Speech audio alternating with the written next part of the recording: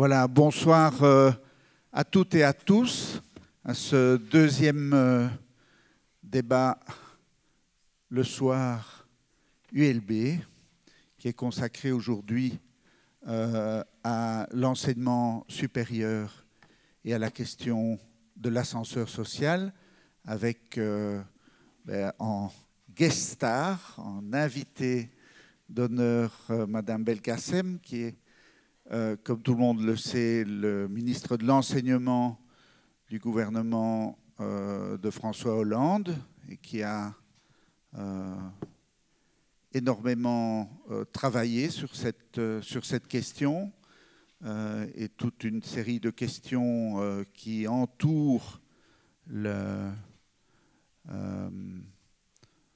place de l'université comme moteur d'égalité ou d'inégalité sociale, euh, aussi très impliqué sur les questions de diversité dans l'enseignement qui, euh, comme vous le savez, sont au centre de la thématique de euh, cette année académique pour, pour l'ULB. Alors, vous avez remarqué à sa droite que le ministre Marcourt a laissé pousser sa barbe et donc, euh, nous accueillons, et le ministre s'excuse, euh, sur un, agenda de dernière minute, et son chef de cabinet a gentiment accepté de reprendre le flambeau pour représenter notre enseignement supérieur, et je l'en remercie déjà. Et enfin, euh, le professeur André Area, qui certainement euh, avec sa vision sociologique, comme doyen de la faculté de philo sciences sociales, un excellent représentant de notre université dans ce débat. Et vous les voyez entourés par nos euh, deux journalistes du soir qui, euh, comme vous le savez, sont les co-organisateurs de ces débats que je remercie encore une fois parce que je pense que c'est vraiment euh, après la, première euh, conférence consacrée à qui possède le corps des femmes, euh, une série de thématiques qui sont vraiment au centre de nos préoccupations d'aujourd'hui. Je donne peut-être la parole à Béatrice Delvaux pour, au nom du soir, reprendre le flambeau. Merci beaucoup. Merci beaucoup, monsieur le recteur. Donc l'enseignement, sert-il encore l'ascenseur social ou pas? On sait côté francophone qu'on n'est pas euh, dans les meilleurs du peloton. Alors on est tous arrivés ici, et Madame Belkacem pas, parce qu'elle elle disait que pour la France, les situations n'étaient pas non plus extrêmement favorables. On est tous arrivés ici avec en tête une euh, statistique qui venait de tomber sur les dépêches, les dépêches belgas, qui nous donnait la place de dernier du classement euh, des pays développés de l'Union européenne en particulier pour la qualité, la, maîtrise de la lecture par les jeunes. Et donc ces statistiques-là, c'est Eric Burgraff tout à l'heure, qui est le journaliste spécialisé dans tout ce qui est matière d'enseignement au soir, qui vous en donnera un petit, fera un petit refresh, un petit rafraîchissement.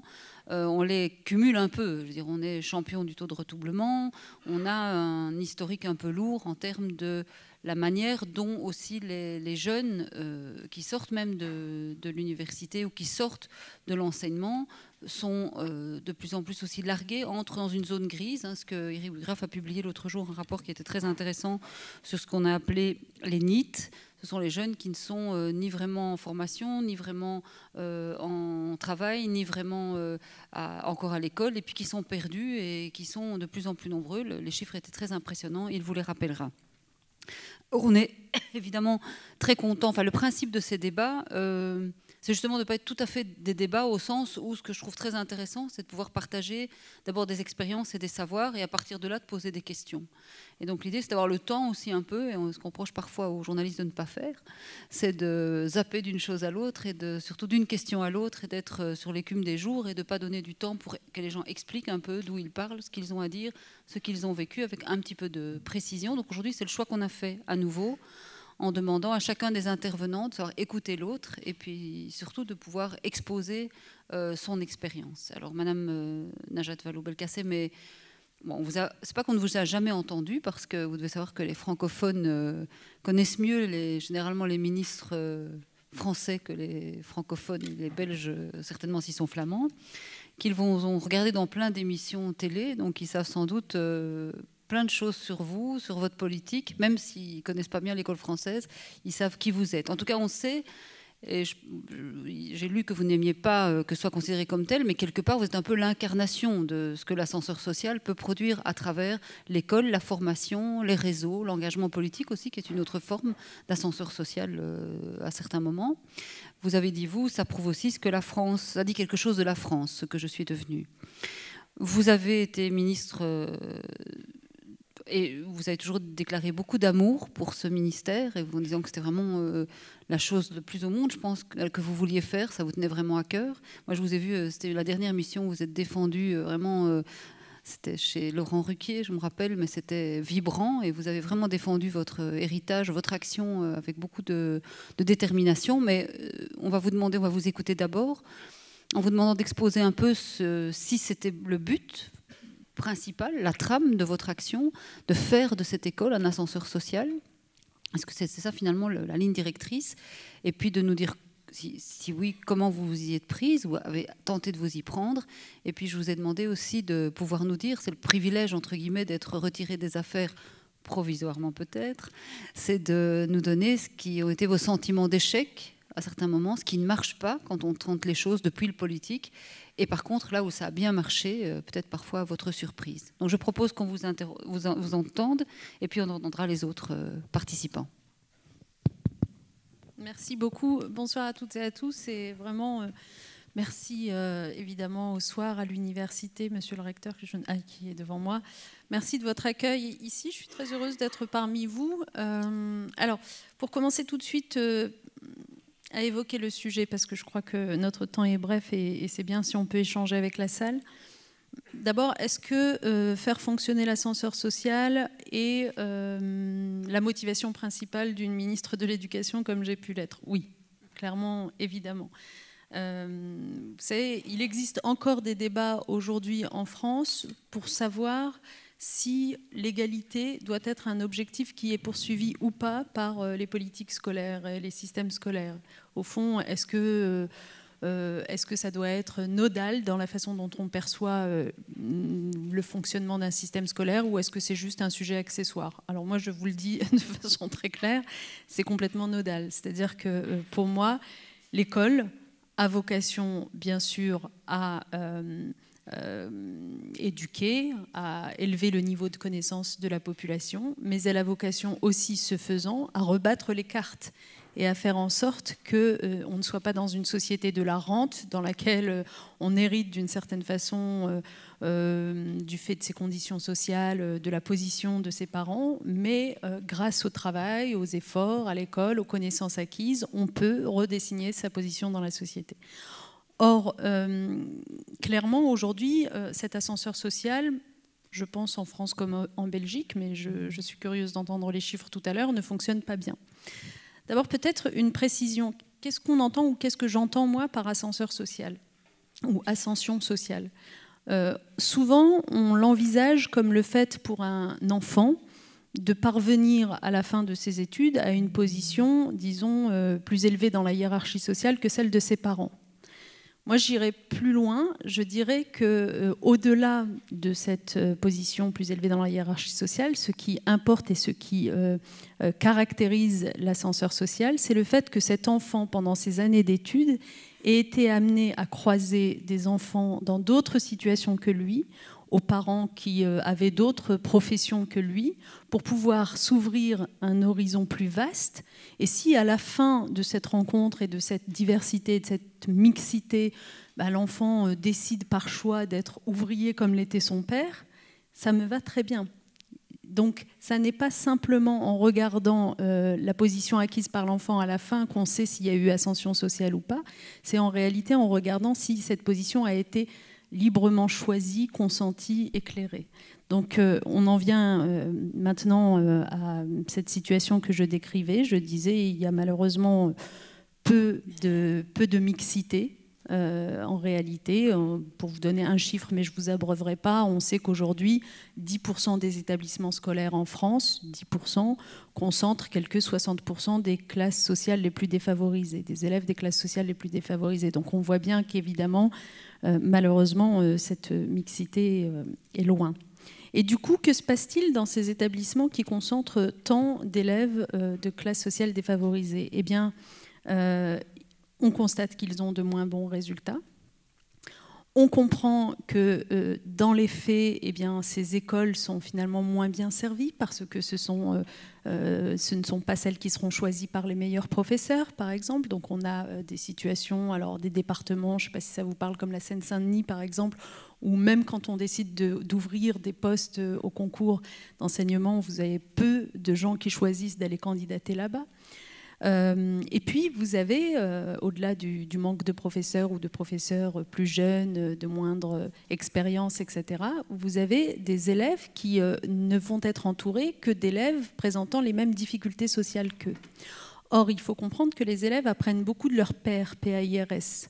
Donc, ce sont des élèves qui, à la fin, auront non seulement de mauvais résultats, mais une faible estime d'eux-mêmes et une vraie autocensure face à l'ambition scolaire et sociale. Euh, et puis surtout, ce qui pose problème dans ces établissements où se concentre la difficulté sociale, c'est que euh, comment voulez-vous que ces élèves-là croient aux valeurs de la République? C'est un autre sujet, c'est-à-dire qu'il n'y a pas que les résultats scolaires dans la vie, il y a aussi comment on s'insère dans une société.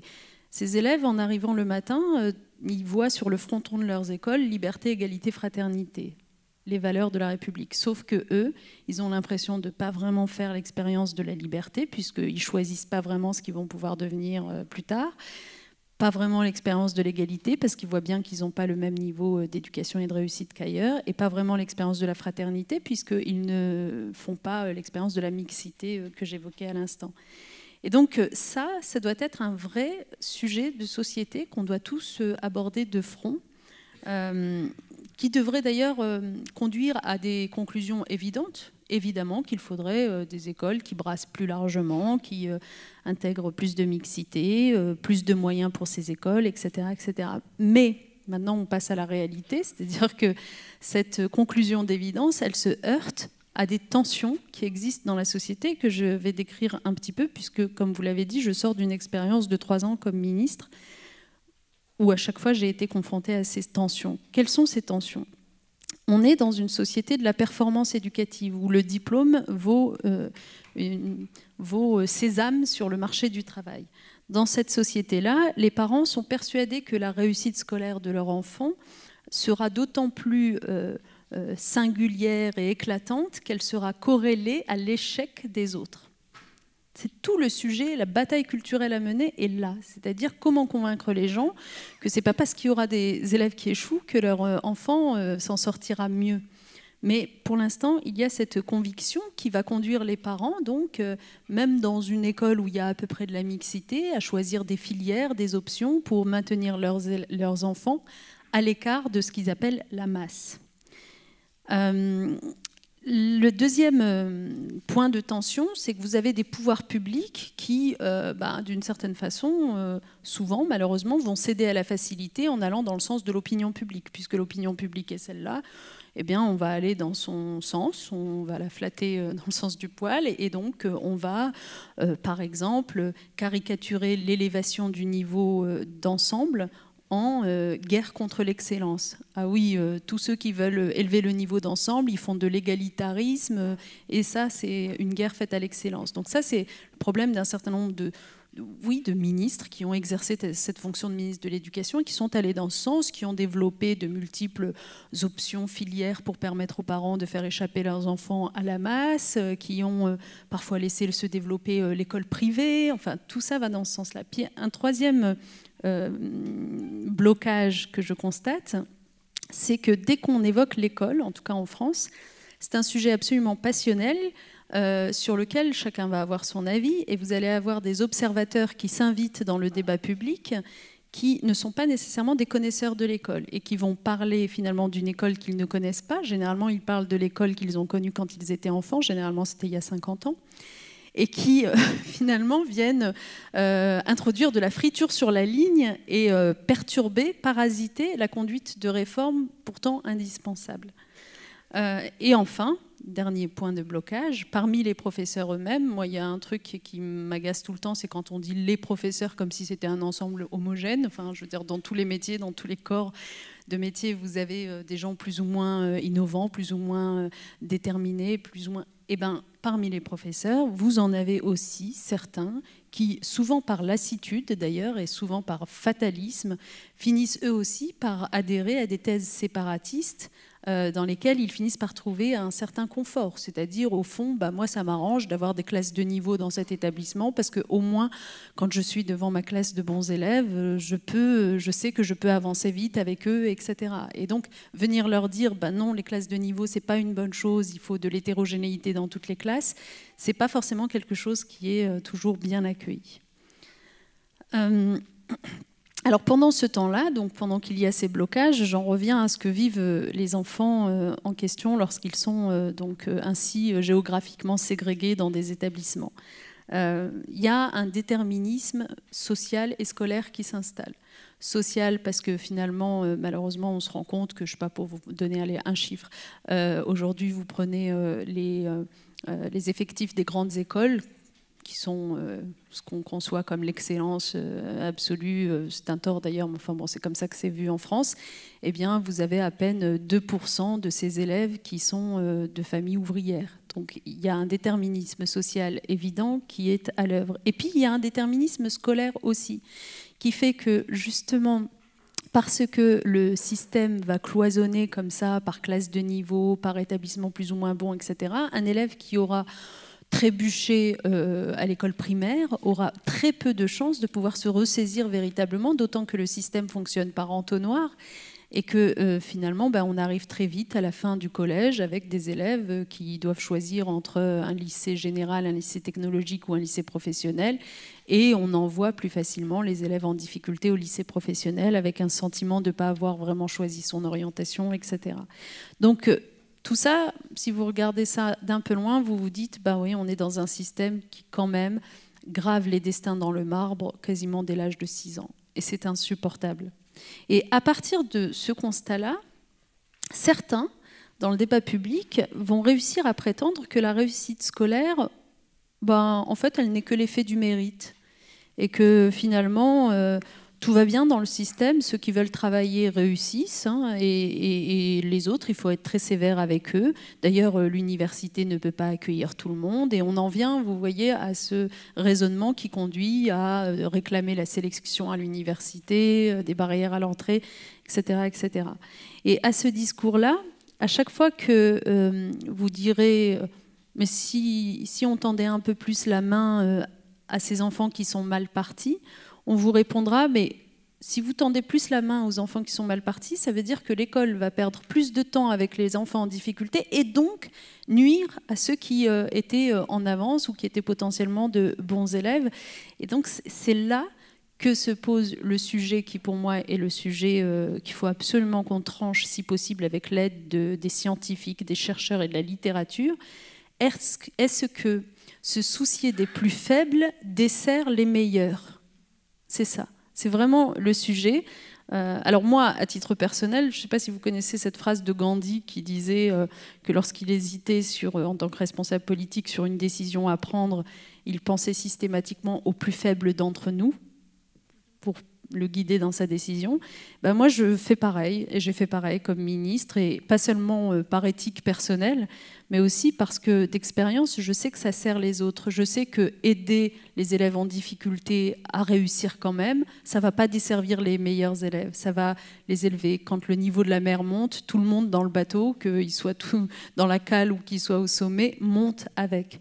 Euh, et pour euh, illustrer ce que je viens de dire, je vais prendre un exemple de mon expérience de ministre des droits des femmes. Vous me direz, ça n'a pas grand-chose à voir, mais si, vous allez comprendre. Lorsque je travaillais à l'époque avec un certain nombre euh, d'entreprises dans des métiers très masculins, du bâtiment, des transports, etc., dans lesquels il y avait euh, clairement pas assez de femmes, et qu'on travaillait avec ces entreprises pour faire venir davantage de femmes dans ces métiers. On travaillait avec elles sur l'ergonomie euh, des postes de travail. par exemple, que ce soit moins lourd à porter, etc., pour que les femmes trouvent leur place. À partir du moment où on a fait ça, c'est vrai que ça a servi les femmes, donc celles qui étaient plus en difficulté en l'occurrence, mais ça a servi aussi les hommes, aussi les salariés euh, de l'entreprise, parce que soudain, ils ont vu leurs conditions de travail améliorées, plus confortables. Donc du coup, il y a sans doute parmi ces hommes certains qui se sont dit, ouais, mais du coup, euh, là, je perds mon avantage initial que j'avais parce que j'étais un homme, mais à la limite, euh, tant pis. du coup, la compétition entre les salariés se fera sur des, des indicateurs plus justes que simplement la force physique à la base. Et je pense que c'est exactement la même chose pour euh, l'éducation, c'est-à-dire que quand on s'intéresse, quand on prend le temps de faire réussir les élèves les plus mal partis, les plus en difficulté, que ce soit social ou scolaire, on ne dessert pas euh, les premiers de cordée, comme dirait l'autre. Euh, simplement, on rebat les cartes de la compétition scolaire et que c'est évidemment une très bonne chose. je terminerai par un point, c'est que pour défendre ce que je viens de vous exposer là, nous manquons en France de voix fortes et audibles pour conduire cette bataille culturelle-là. J'ai été frappée de voir qu'à chaque fois qu'il y avait une tempête médiatique autour d'une réforme qui allait dans ce sens, au fond, euh, les chercheurs qui pourtant existent n'avaient quasiment pas voix au chapitre. Alors, je ne vais pas, euh, rassurez-vous, je ne vais pas tout mettre sur le, compte des médias. Euh, quoique il y a une certaine facilité dans les médias tout de même de recourir à des, euh, à des intellectuels plus, euh, plus, plus, plus, plus flamboyants, plus euh, visibles, etc., et qui arrivent à résumer leurs pensées en 140 caractères pour Twitter. Et c'est vrai que souvent, comme ministre de la Recherche, j'ai discuté avec des chercheurs en leur disant Mais de grâce, mais sortez, venez, dites des choses, vous savez, vous, que tout ce qu'on raconte, c'est des conneries. Et euh, il me disait, euh, mais moi, j'ai pas envie que ma pensée forcément complexe de chercheur soit résumée, tronquée, caricaturée en 140 caractères. Donc il y a quand même un, sujet de société qui est quelle place on fait à la recherche pour qu'elle vienne éclairer euh, l'opinion publique parce qu'aujourd'hui, ça n'est absolument pas le cas. Et donc, en l'absence de ces voix fortes qui pourraient soutenir de telles politiques, de, meilleur fonctionnement de l'ascenseur social, les responsables politiques qui se trouvent à les conduire sont très seuls. Donc finalement, ça rejoint ce que je disais tout à l'heure. Soit ils font le choix de la facilité, je vais dans le sens du vent. Quand je suis devenue ministre de l'Éducation en 2014, euh, le premier conseil que m'ont donné tous les connaisseurs, c'est euh, si tu veux que ça se passe bien, ne touche surtout à rien. Voilà, bon, ben c'est clair. Soit ils ont un peu de détermination, ça leur tient un peu à cœur, donc ils y vont, mais ils s'en prennent plein la tête. Et en plus, ils sont eux accusés de cliver. Euh, pourtant, ce n'est pas forcément le cas, mais pour vous en donner quelques exemples, ça me permet d'égrener des types de réformes qu'on peut faire. Lorsque j'ai décidé que pour euh, mieux amener les apprentissages aux élèves, et notamment les élèves de collège, et mieux s'assurer que chaque élève se les approprie et les comprenne bien, il fallait qu'on fasse davantage d'interdisciplinarité, parce qu'il se trouve que oui, en mêlant un certain nombre de disciplines, on arrive à donner plus de sens à ce que les élèves apprennent. Tollé, de la part de tous ceux qui euh, estimaient que c'était la fin des disciplines et donc la fin des civilisations. Euh, de la civilisation, pardon. Euh, lorsque j'ai voulu qu'on introduise davantage de travail collectif au sein de, des collèges, tollé là encore parce que on m'a répondu que c'était une école ludique que je voulais, comme si l'écoute passive d'un cours magistral était plus exigeante que euh, le travail en groupe euh, actif euh, de ses élèves. Lorsque j'ai voulu qu'on arrête de faire des classes de niveau et qu'on revoie ce système d'options, de filières, etc., on m'a dit, mais vous haïssez l'excellence, parce que c'est dans ces classes de niveau réservées à 20% des élèves qu'on trouvait l'excellence. Lorsque j'ai voulu rendre le redoublement exceptionnel, on m'a accusé de laxisme généralisé. Vous voulez euh, des cohortes de mauvais élèves qui passent. Lorsque j'ai introduit euh, la psychologie scolaire dans les écoles, parce que j'ai créé un corps de psychologues scolaires pour l'éducation nationale, hein, c'était une vieille revendication de plusieurs décennies à laquelle j'ai enfin donné droit, on m'a accusé de faire de la bienveillance bisounours. Donc vous voyez, quand vous faites, euh, et, puis à cela, vous rajoutez évidemment quelques fake news, hein, vous les avez euh, évoquées, hein, puisque quand même, il faut se souvenir que mon mandat aura été émaillé d'accusations d'introduire l'arabe obligatoire en CP. C'est faux, je vous le dis, de euh, vouloir réformer, d'avoir même réformé l'orthographe pour l'appauvrir. J'ai jamais conduit de réforme de l'orthographe, mais je vous assure que vous interrogez les Français à force que cette fake news ait circulé. Je pense que 80% des gens sont convaincus que j'ai réformé l'orthographe, c'est pas vrai. Et en plus, ce qui est drôle, c'est que parfois les fake news sont quand même d'une précision hallucinante, puisque dans celle-ci, il était euh, expliqué que j'avais réformé l'orthographe, notamment pour supprimer l'accent circonflexe.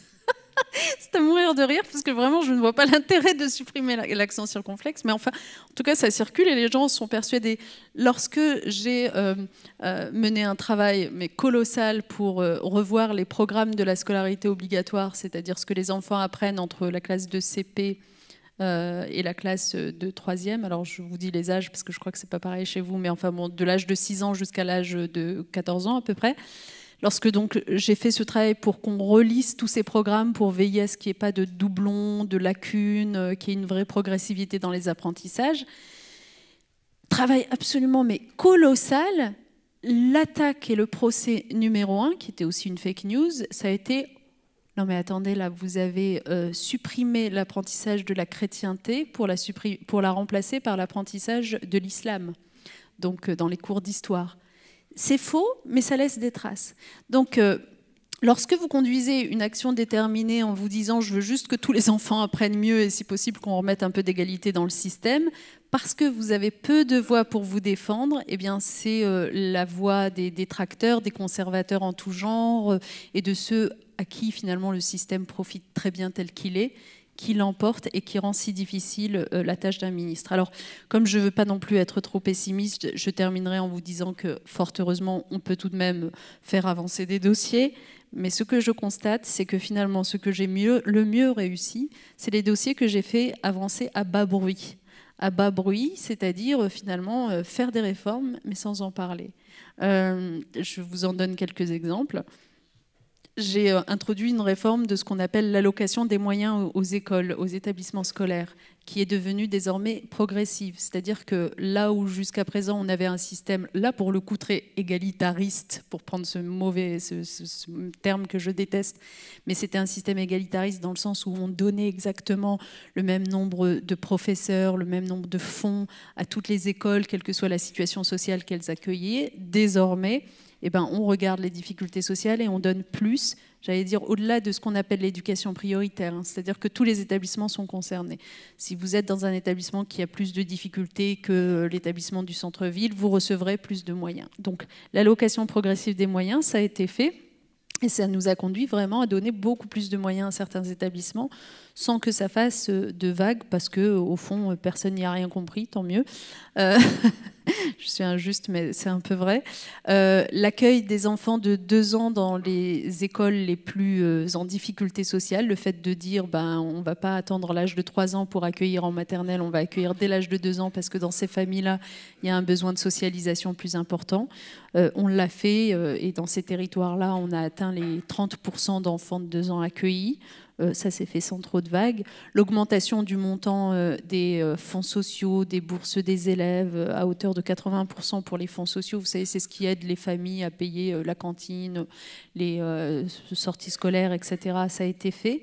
Et même des choses un peu plus, un peu plus charnières, vous allez comprendre. Par exemple, la possibilité donnée à des jeunes gens qui arrivent en lycée et qui se retrouvent en lycée professionnel on ne sait pas très bien si c'est un vrai choix de leur part ou si on les a orientés au vu de leurs résultats, ben, je leur ai donné nouvellement la possibilité de changer d'orientation si au bout de deux mois de scolarité dans le lycée professionnel, ils se rendent compte que c'est vraiment pas fait pour eux. Ils peuvent demander à retourner en lycée général. Donc ça, c'est passé aussi. Euh, le fait, pour lutter contre le décrochage scolaire, d'avoir introduit un vrai droit au retour en formation jusqu'à l'âge de 25 ans un jeune qui euh, sera sorti sans qualification du système et qui finalement euh, euh, se dit que bon voilà la vie est passée par là, il regrette, il aimerait bien revenir, il a le droit de revenir et on le reprend dans des conditions qui lui permettent d'obtenir une qualification à la fin. D'ailleurs, entre parenthèses, preuve que cette action ne devait pas être si catastrophique que certains veulent bien la décrire. Euh, quand j'ai pris euh, ce ministère, on avait 140 euh, 000 décrocheurs qui sortaient du système scolaire sans qualification par an. Quand je l'ai rendu, on en avait 80 000. Donc je pense qu'il y a quand même des effets de la politique conduite. Donc je ne vais pas être plus longue, mais vous voyez, le bas bruit fonctionne. D'abord parce que du coup, ça, crée moins de polémiques, mais aussi, et je pense que c'est la raison aussi pourquoi ça marche, parce que les mieux lotis dans ce que je viens de vous décrire comme mesure n'ont pas le sentiment forcément d'y perdre un avantage acquis. Le problème avec ce bas bruit, c'est que euh, ce faisant, la bataille culturelle n'est pas menée. Et que du coup, dès qu'on tourne le dos, ben, en fait, euh, les sujets sont toujours là, les difficultés sont toujours là. Euh, et donc, ce n'est pas forcément la solution que je recommanderais non plus au ministre de l'Éducation. Ce n'est pas forcément de faire du bas bruit. Je pense qu'il faut vraiment mener la bataille culturelle. Pourquoi? Parce que si on ne l'amène pas, non seulement on ne change pas les mentalités par rapport à tout ce que je viens de vous dire et l'intérêt d'avoir un ascenseur social qui fonctionne, mais en plus, euh, on concentre tous les débats sur des sujets qui euh, sont très très loin du compte par rapport aux vrais problèmes du système. Par exemple, je suis frappée de voir aujourd'hui euh, comment la question de la formation continue des enseignants, qui est un vrai sujet, a complètement disparu des débats complètement disparu des débats. Alors que là, pour le coup, parce que finalement, on n'a jamais éclairé l'opinion publique, parce qu'à force de mobiliser l'opinion publique sur il faut défendre les classes de latin, etc., etc., on n'a jamais éclairé l'opinion publique sur la réalité des lacunes de notre système qui était que nous avons des professeurs qui euh, exercent un métier euh, parmi les plus difficiles du monde et qui méritent d'être euh, appris tout au long de sa carrière. Et que ben, cette formation continue, elle nécessite des moyens conséquents et qu'il faut les y mettre. Voilà. Merci. Merci beaucoup.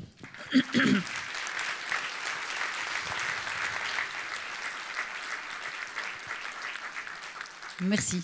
C'est très, bien. C'est très intéressant de plonger dans votre euh, analyse euh, des causes, des difficultés et des solutions. On va demander à Eric de nous dresser un, portrait rapide de la situation belge. Euh, bonsoir à, tous. on pourrait faire une, deux ou trois thèses de doctorat autour de l'ascenseur social euh, je ne vais pas le faire ce soir, certainement pas, ce n'est pas mon rôle, mais juste donner quelques indicateurs pour euh, vulgariser un peu les, choses, en tout cas essayer de, les objectiver. Simplement rappeler que quand on parle d'ascenseur social, on fait évidemment référence à une échelle socio-économique qui est souvent liée au diplôme, mais pas nécessairement. Il faut quand même se rendre compte qu'il n'y a pas nécessairement qu'un diplôme universitaire, un diplôme supérieur qui permet aux jeunes de, grimper dans cet ascenseur social on a quand même toujours de tout temps considéré que c'était l'école qui avait joué ce rôle. Et comme on est dans, ce système, je vais quand même essayer de, limiter mes indicateurs à, ce, champ de l'école. Euh, et rappeler déjà ce qui coince aujourd'hui, mais ce qui coince notamment c'est le redoublement, on va le voir, c'est le décrochage scolaire, c'est la baisse de la part de diplômés et c'est aussi l'absence de perspective pour pas mal de jeunes. Un des premiers indicateurs, c'est ce que j'appelle les accidents de parcours, en tout cas, c'est le, taux de, redoublement chez les jeunes belges francophones. Il faut savoir que dans notre système, il y a déjà des gamins qui n'ont pas terminé l'école maternelle, qui ont déjà redoublé une fois, parfois deux. Euh, donc le redoublement est instauré de manière euh, culturelle dans, notre système. Un chiffre qui nous interpelle ici quand même, c'est que important, le taux de fréquentation de l'enseignement belge francophone, il est quasiment de 100%, il est de 100% dans l'enseignement primaire et maternel. Il est par contre euh, autour de 95-97% dans, l'enseignement secondaire. C'est énorme, donc ça veut dire qu'on a un système qui est très très accueillant. Par contre, ce qui est vraiment très important et interpellant, c'est l'évolution vertigineuse du taux de redoublement. Je vous ai parlé de redoublement maternel, mais dès qu'on arrive à 12 ans, donc à l'entrée de l'enseignement secondaire chez nous, un élève sur cinq a déjà au moins une année de retard. Dès qu'il a 15 ans, on a un élève sur deux qui a une année de retard. En fait, on est ici tout simplement les champions du monde. Les Belges francophones sont les champions du monde du redoublement. Et ce n'est pas fini, parce qu'à 17 ans, en fait, c'est 60% des élèves qui ont au minimum une année de retard. C'est un véritable problème culturel. La Flandre, qui a la même histoire que nous, fondamentalement, on n'est pas séparés depuis si longtemps que ça sur le système de l'enseignement. Elle, fait 27% de, taux de redoublement, c'est-à-dire quasiment la moitié, la moitié de nous. C'est très très préoccupant. Pourquoi? Parce que c'est prédictif, en tout cas, des résultats scolaires de, l'avenir. Celui qui commence avec une année de retard, son enseignement secondaire n'a qu'une chance sur cinq d'arriver en cinquième primaire, en cinquième secondaire, pardon, sans doubler à nouveau une seconde fois. Quand on voit les tests de lecture qui sont publiés ce jour, ce matin, une nouvelle enquête sur la lecture a été publiée. Euh, ces tests confirment que simplement les doubleurs sont bien, dans, un niveau bien plus, bien plus faible pardon, que ceux qui n'ont jamais doublé en termes de lecture. Ça laisse quoi comme impression, en tout cas comme conséquence, c'est que euh, la relégation est au bout du chemin. On passe très facilement quand on redouble d'une filière à l'autre. On est souvent autorisé à passer dans son année supérieure, dans le secondaire, à condition de d'abord passer dans le qualifiant et puis après de passer dans, le, professionnel. Euh, avec cette conséquence-ci que en professionnel, 90% des élèves qui fréquentent l'enseignement professionnel aujourd'hui ont au moins doublé une fois dans leur vie. Un autre indicateur intéressant, c'est l'inégalité socio-économique, ce que j'appelle moi la, double peine. Il y a une certitude, les accidents de parcours, donc le redoublement, qui est vraiment prégnant chez nous, il touche tout le monde, il touche toutes les classes sociales, il touche tous les élèves à tous les âges. Par contre, ce qui est tout aussi évident, c'est qu'il touche davantage les jeunes issus des milieux moins favorisés. Le tableau que vous voyez là à l'écran vous dit ceci, il vous dit que si il y avait un chiffre de zéro, le lien entre les études PISA et les résultats PISA et l'origine socioculturelle serait négatif. Ça veut dire l'ensemble des, étudiants auraient un, résultat égal, quelle que soit leur origine. Par contre, si on est au chiffre 7 comme la Norvège, ben, on peut considérer que le lien est très faible. Mais par contre, si on arrive tout de suite en Fédération Wallonie-Bruxelles, on se rend compte que ben, dans notre région, si on sort d'un milieu défavorisé, on a trois fois plus de chances, par exemple, que les Norvégiens, d'avoir des résultats scolaires en baisse par rapport aux autres. Les élèves qui viennent de quartiers défavorisés, souvent, ils accumulent plus de retard ils s'orientent davantage vers le qualifiant et ils présentent un taux de sortie de l'enseignement secondaire beaucoup plus important que les autres. Un troisième indicateur peut parler de, des élèves qui ont terminé l'enseignement secondaire et on peut comparer les choses par classe d'âge. un premier élément, en Belgique francophone, le taux de jeunes diplômés de l'enseignement secondaire, quel que soit le, type d'enseignement, est relativement important parce qu'on est quasiment autour de 83%. Par contre, il y a des nuances régionales. Si c'est 83% en Belgique, en Wallonie, c'est plutôt 79. À Bruxelles, c'est plutôt autour de 70. Et en Flandre, c'est plutôt autour de 85-87. D'autres nuances peuvent être apportées. Et là, c'est là qu'on voit que l'ascenseur social pose des problèmes aujourd'hui. Si on compare le taux de jeunes qui ont terminé l'enseignement secondaire supérieur, les jeunes de 24-25 ans et les jeunes de 25-34 ans, donc ceux qui l'ont terminé finalement il y a quelques années d'ici, on se rend compte en fait que le taux est en train de diminuer. Il est stable au niveau belge, mais il est moins important. Il a baissé chez les jeunes wallons, il a baissé encore plus fort, moins 3% chez les jeunes bruxellois, alors que côté flamand, lui, tout simplement, il a augmenté. Une quatrième notion, on parle de NITS aujourd'hui, ce n'est pas une nouvelle invention des statisticiens pour nous faire plaisir. Quand on parle de NITS, on parle en fait des jeunes qui ne sont ni en emploi, ni en formation, ni en enseignement. On a regroupé tous ces jeunes dans, ce que moi j'appelle un peu le, ventre mou de l'activité économique. Euh, ça reflète en fait la, capacité, ça reflète, ça ne reflète pas la capacité d'un système politique à donner aux jeunes les meilleures chances d'entamer, de démarrer leur vie professionnelle Qu'est-ce qui est préoccupant dans les chiffres que vous voyez là, c'est que aujourd'hui, un jeune wallon sur six est dans cette situation, donc il est ni en emploi, ni en formation, ni à l'école. On a un jeune bruxellois sur cinq, 20% des jeunes de, 18 à 24 ans sont dans cette situation à Bruxelles. Par contre, de nouveau, la Flandre fait bien mieux que nous, puisqu'on est en dessous des 10% côté flamand. C'est très très préoccupant. Pourquoi? Parce qu'il faut relier cette donnée avec une autre. En fait, 15% des élèves quittent aujourd'hui l'enseignement secondaire prématurément, c'est-à-dire sans qualification, alors qu'en réalité, la société aujourd'hui a besoin seulement de, 4% de jeunes sans qualification. Et puis l'ascenseur ici, dans ma dernière donnée, on peut vraiment voir qu'il fait, fait du surplace. Qu'est-ce qu'elle montre cette donnée? Elle montre que euh, le taux de diplômés du secondaire ben, ne fait qu'augmenter depuis plusieurs décennies. En fait, si on regarde simplement les, chiffres absolus qui ne sont pas au tableau ici, ils, suivent la courbe démographique. Le nombre de jeunes qui fréquentent l'enseignement secondaire et qui le quittent avec un diplôme est important, de plus en plus important, parce qu'il suit la courbe démographique. Par contre, si on regarde les chiffres relatifs, on se rend compte que la part des diplômés dans la population, on part ici des 30-34 ans, c'est la tranche d'âge où on considère que les jeunes ont pour la plupart les jeunes adultes terminer leur, formation. Elle augmente depuis des décennies sans discontinuer. Or, depuis 4-5 ans, depuis 2012, on se rend compte que ça se tasse.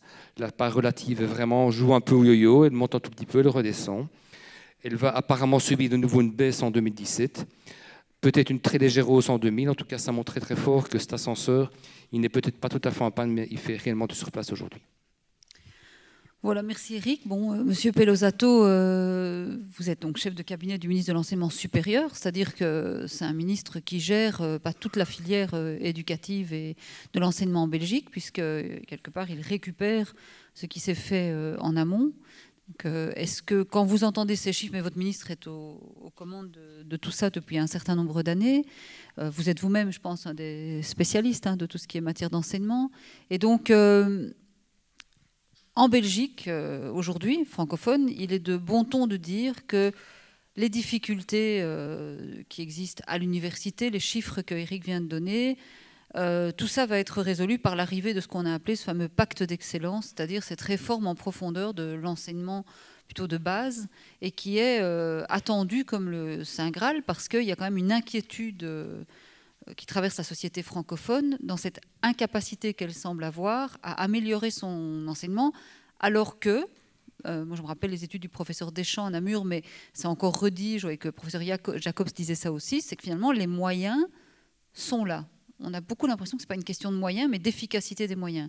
Alors est-ce que vous vous dites euh, on essaye mais on n'y arrive pas, ou on va y arriver, ou qu'est-ce qu'on va faire pour y arriver mieux? Bonsoir d'abord euh, à, tout le monde. Euh, qu'est-ce qu'on va faire pour y arriver mieux? Euh, Moi, je me rappelle une époque de, ma carrière professionnelle où je m'occupais un peu d'enseignement obligatoire. Donc ça remonte au début des années 2000. Tous ces chiffres étaient déjà connus et nous avons à l'époque lancé ce qu'on avait appelé à l'époque un pacte pour l'école.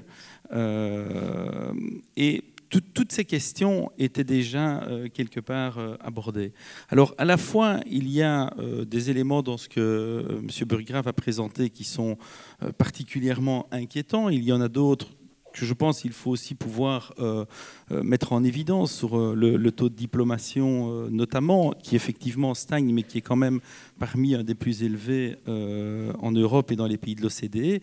Euh, mais je, pense qu'il faut bien percevoir que notre enseignement, il est euh, injuste, on l'a dit, il est surtout fondamentalement inéquitable, parce qu'on a dans notre enseignement des jeunes qui réussissent très bien et des jeunes, les, moins performants, qui ne réussissent pas du tout. Et on retombe lorsqu'on décortique ces chiffres et, lorsqu'on regarde euh, cette, euh, difficulté structurelle et, le fait que notre enseignement, comme le, système flamand d'ailleurs, hein, encore plus que le, système francophone, euh, est fondamentalement inéquitable. On retombe alors sur ce qui a été dit sur le, choc culturel à, opérer avec cette difficulté majeure dans toutes les réformes qui sont entreprises et qu'à mon avis on va rencontrer avec le pacte d'excellence comme avec d'autres, qui sont euh, celle qui euh, consiste à dire que un certain nombre de mesures qui veulent tirer vers le haut les élèves qui connaissent et qui rencontrent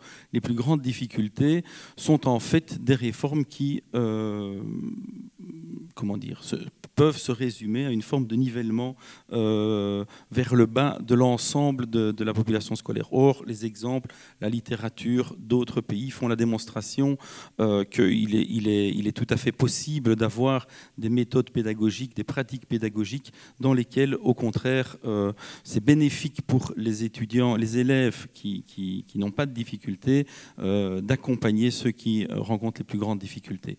Alors après, sur le pacte pour l'école euh, particulièrement, même si ce n'est pas directement de la responsabilité du, ministre Marcourt, mais tout de même, bah, je, pense que c'est un travail qu'il faut évidemment saluer, puisque tout ce qui a été dit euh, par Madame Belkacem, je pense, euh, transpire très largement des, des, travaux qui ont servi de base aux propositions du pacte. Je pense que l'analyse, on, fait exactement la même en, Fédération Wallonie-Bruxelles. Je ne suis pas sûr que pour un ministre en exercice, ce soit facile de tenir dans son pays d'élection le discours que vous avez tenu, mais, mais en tout cas, je pense que le ministre Marco aurait été là, il aurait pu reprendre la, toute grande majorité des propos que vous avez tenus sur euh, les difficultés rencontrées. Et alors sur le, pacte à partir de là, quelles sont les propositions concrètes qu'on peut essayer de mettre euh, en avant pour euh, améliorer les choses? Je pense qu'il y, a deux priorités et elles ont encore été mises en avant aujourd'hui par les chercheurs qui ont rendu les, les, tristes résultats sur la maîtrise de la langue française. Ben, il y a d'une part l'accueil des tout petits, donc dès deux ans et demi, puisque les, premières discriminations, elles se font même avant six ans, avant l'arrivée euh, en, primaire. Donc l'importance qu'il y a euh, d'avoir euh, une présence en maternelle est fondamentale. Et on sait déjà, les études et les chiffres le montrent aussi, que les enfants qui ne fréquentent pas l'enseignement maternel sont évidemment les, enfants issus de milieux les, plus défavorisés. Et puis, alors, il y a une autre mesure qui est euh, préconisée et qui est par ailleurs en discussion pour le moment, c'est celle qui euh, porte sur la réforme de la formation initiale euh, des enseignants, puisqu'on est en Fédération Wallonie-Bruxelles le dernier pays, en tout cas un des derniers pays en Europe à avoir une formation initiale des professeurs organisée en trois années d'études. Donc là, ben, le projet, il est sur la table aujourd'hui, donc il vise à renforcer cette formation initiale, à allonger euh, un peu cette formation pour euh, justement permettre d'acquérir un certain nombre de comment dire, de, compétences supplémentaires en lien avec l'évolution de l'école qui euh, est quand même majeure depuis quelques décennies.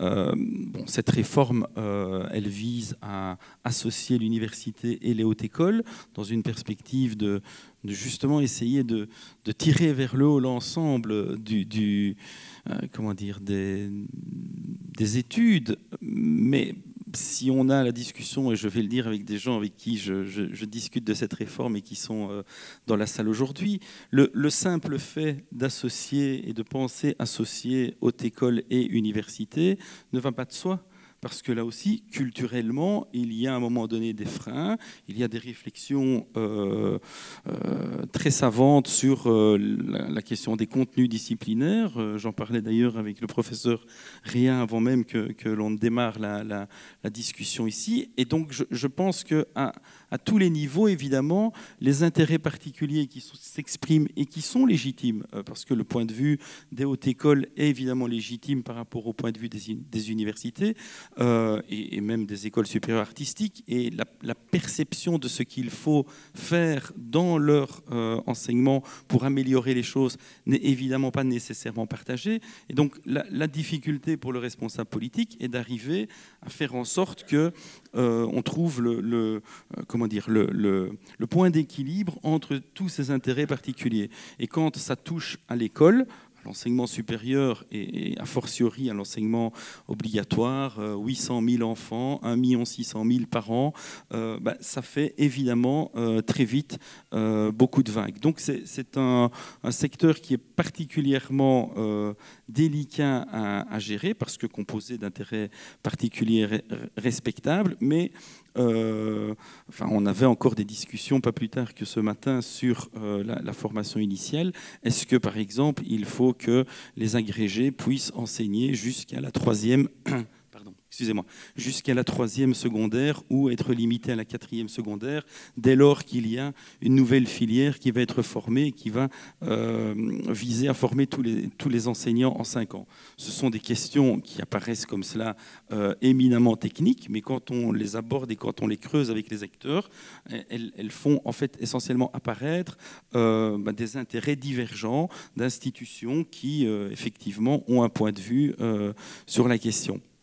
Alors, au-delà euh, de, la formation initiale, dont on pourra peut-être euh, discuter dans les, échanges euh, avec la salle, parce que c'est vraiment un, projet, je pense, fondamental. C'est quelque chose sur lequel on s'est très peu penché en Fédération Wallonie-Bruxelles. Or, je pense qu'il ne peut pas y avoir une revalorisation et une réussite euh, du pacte d'excellence s'il n'y a pas euh, une remise à plat euh, de la formation initiale des, enseignants. Aujourd'hui, l'étude des facultés Saint-Louis qui a servi de base à la réflexion pour la formation initiale l'a mis très clairement en évidence.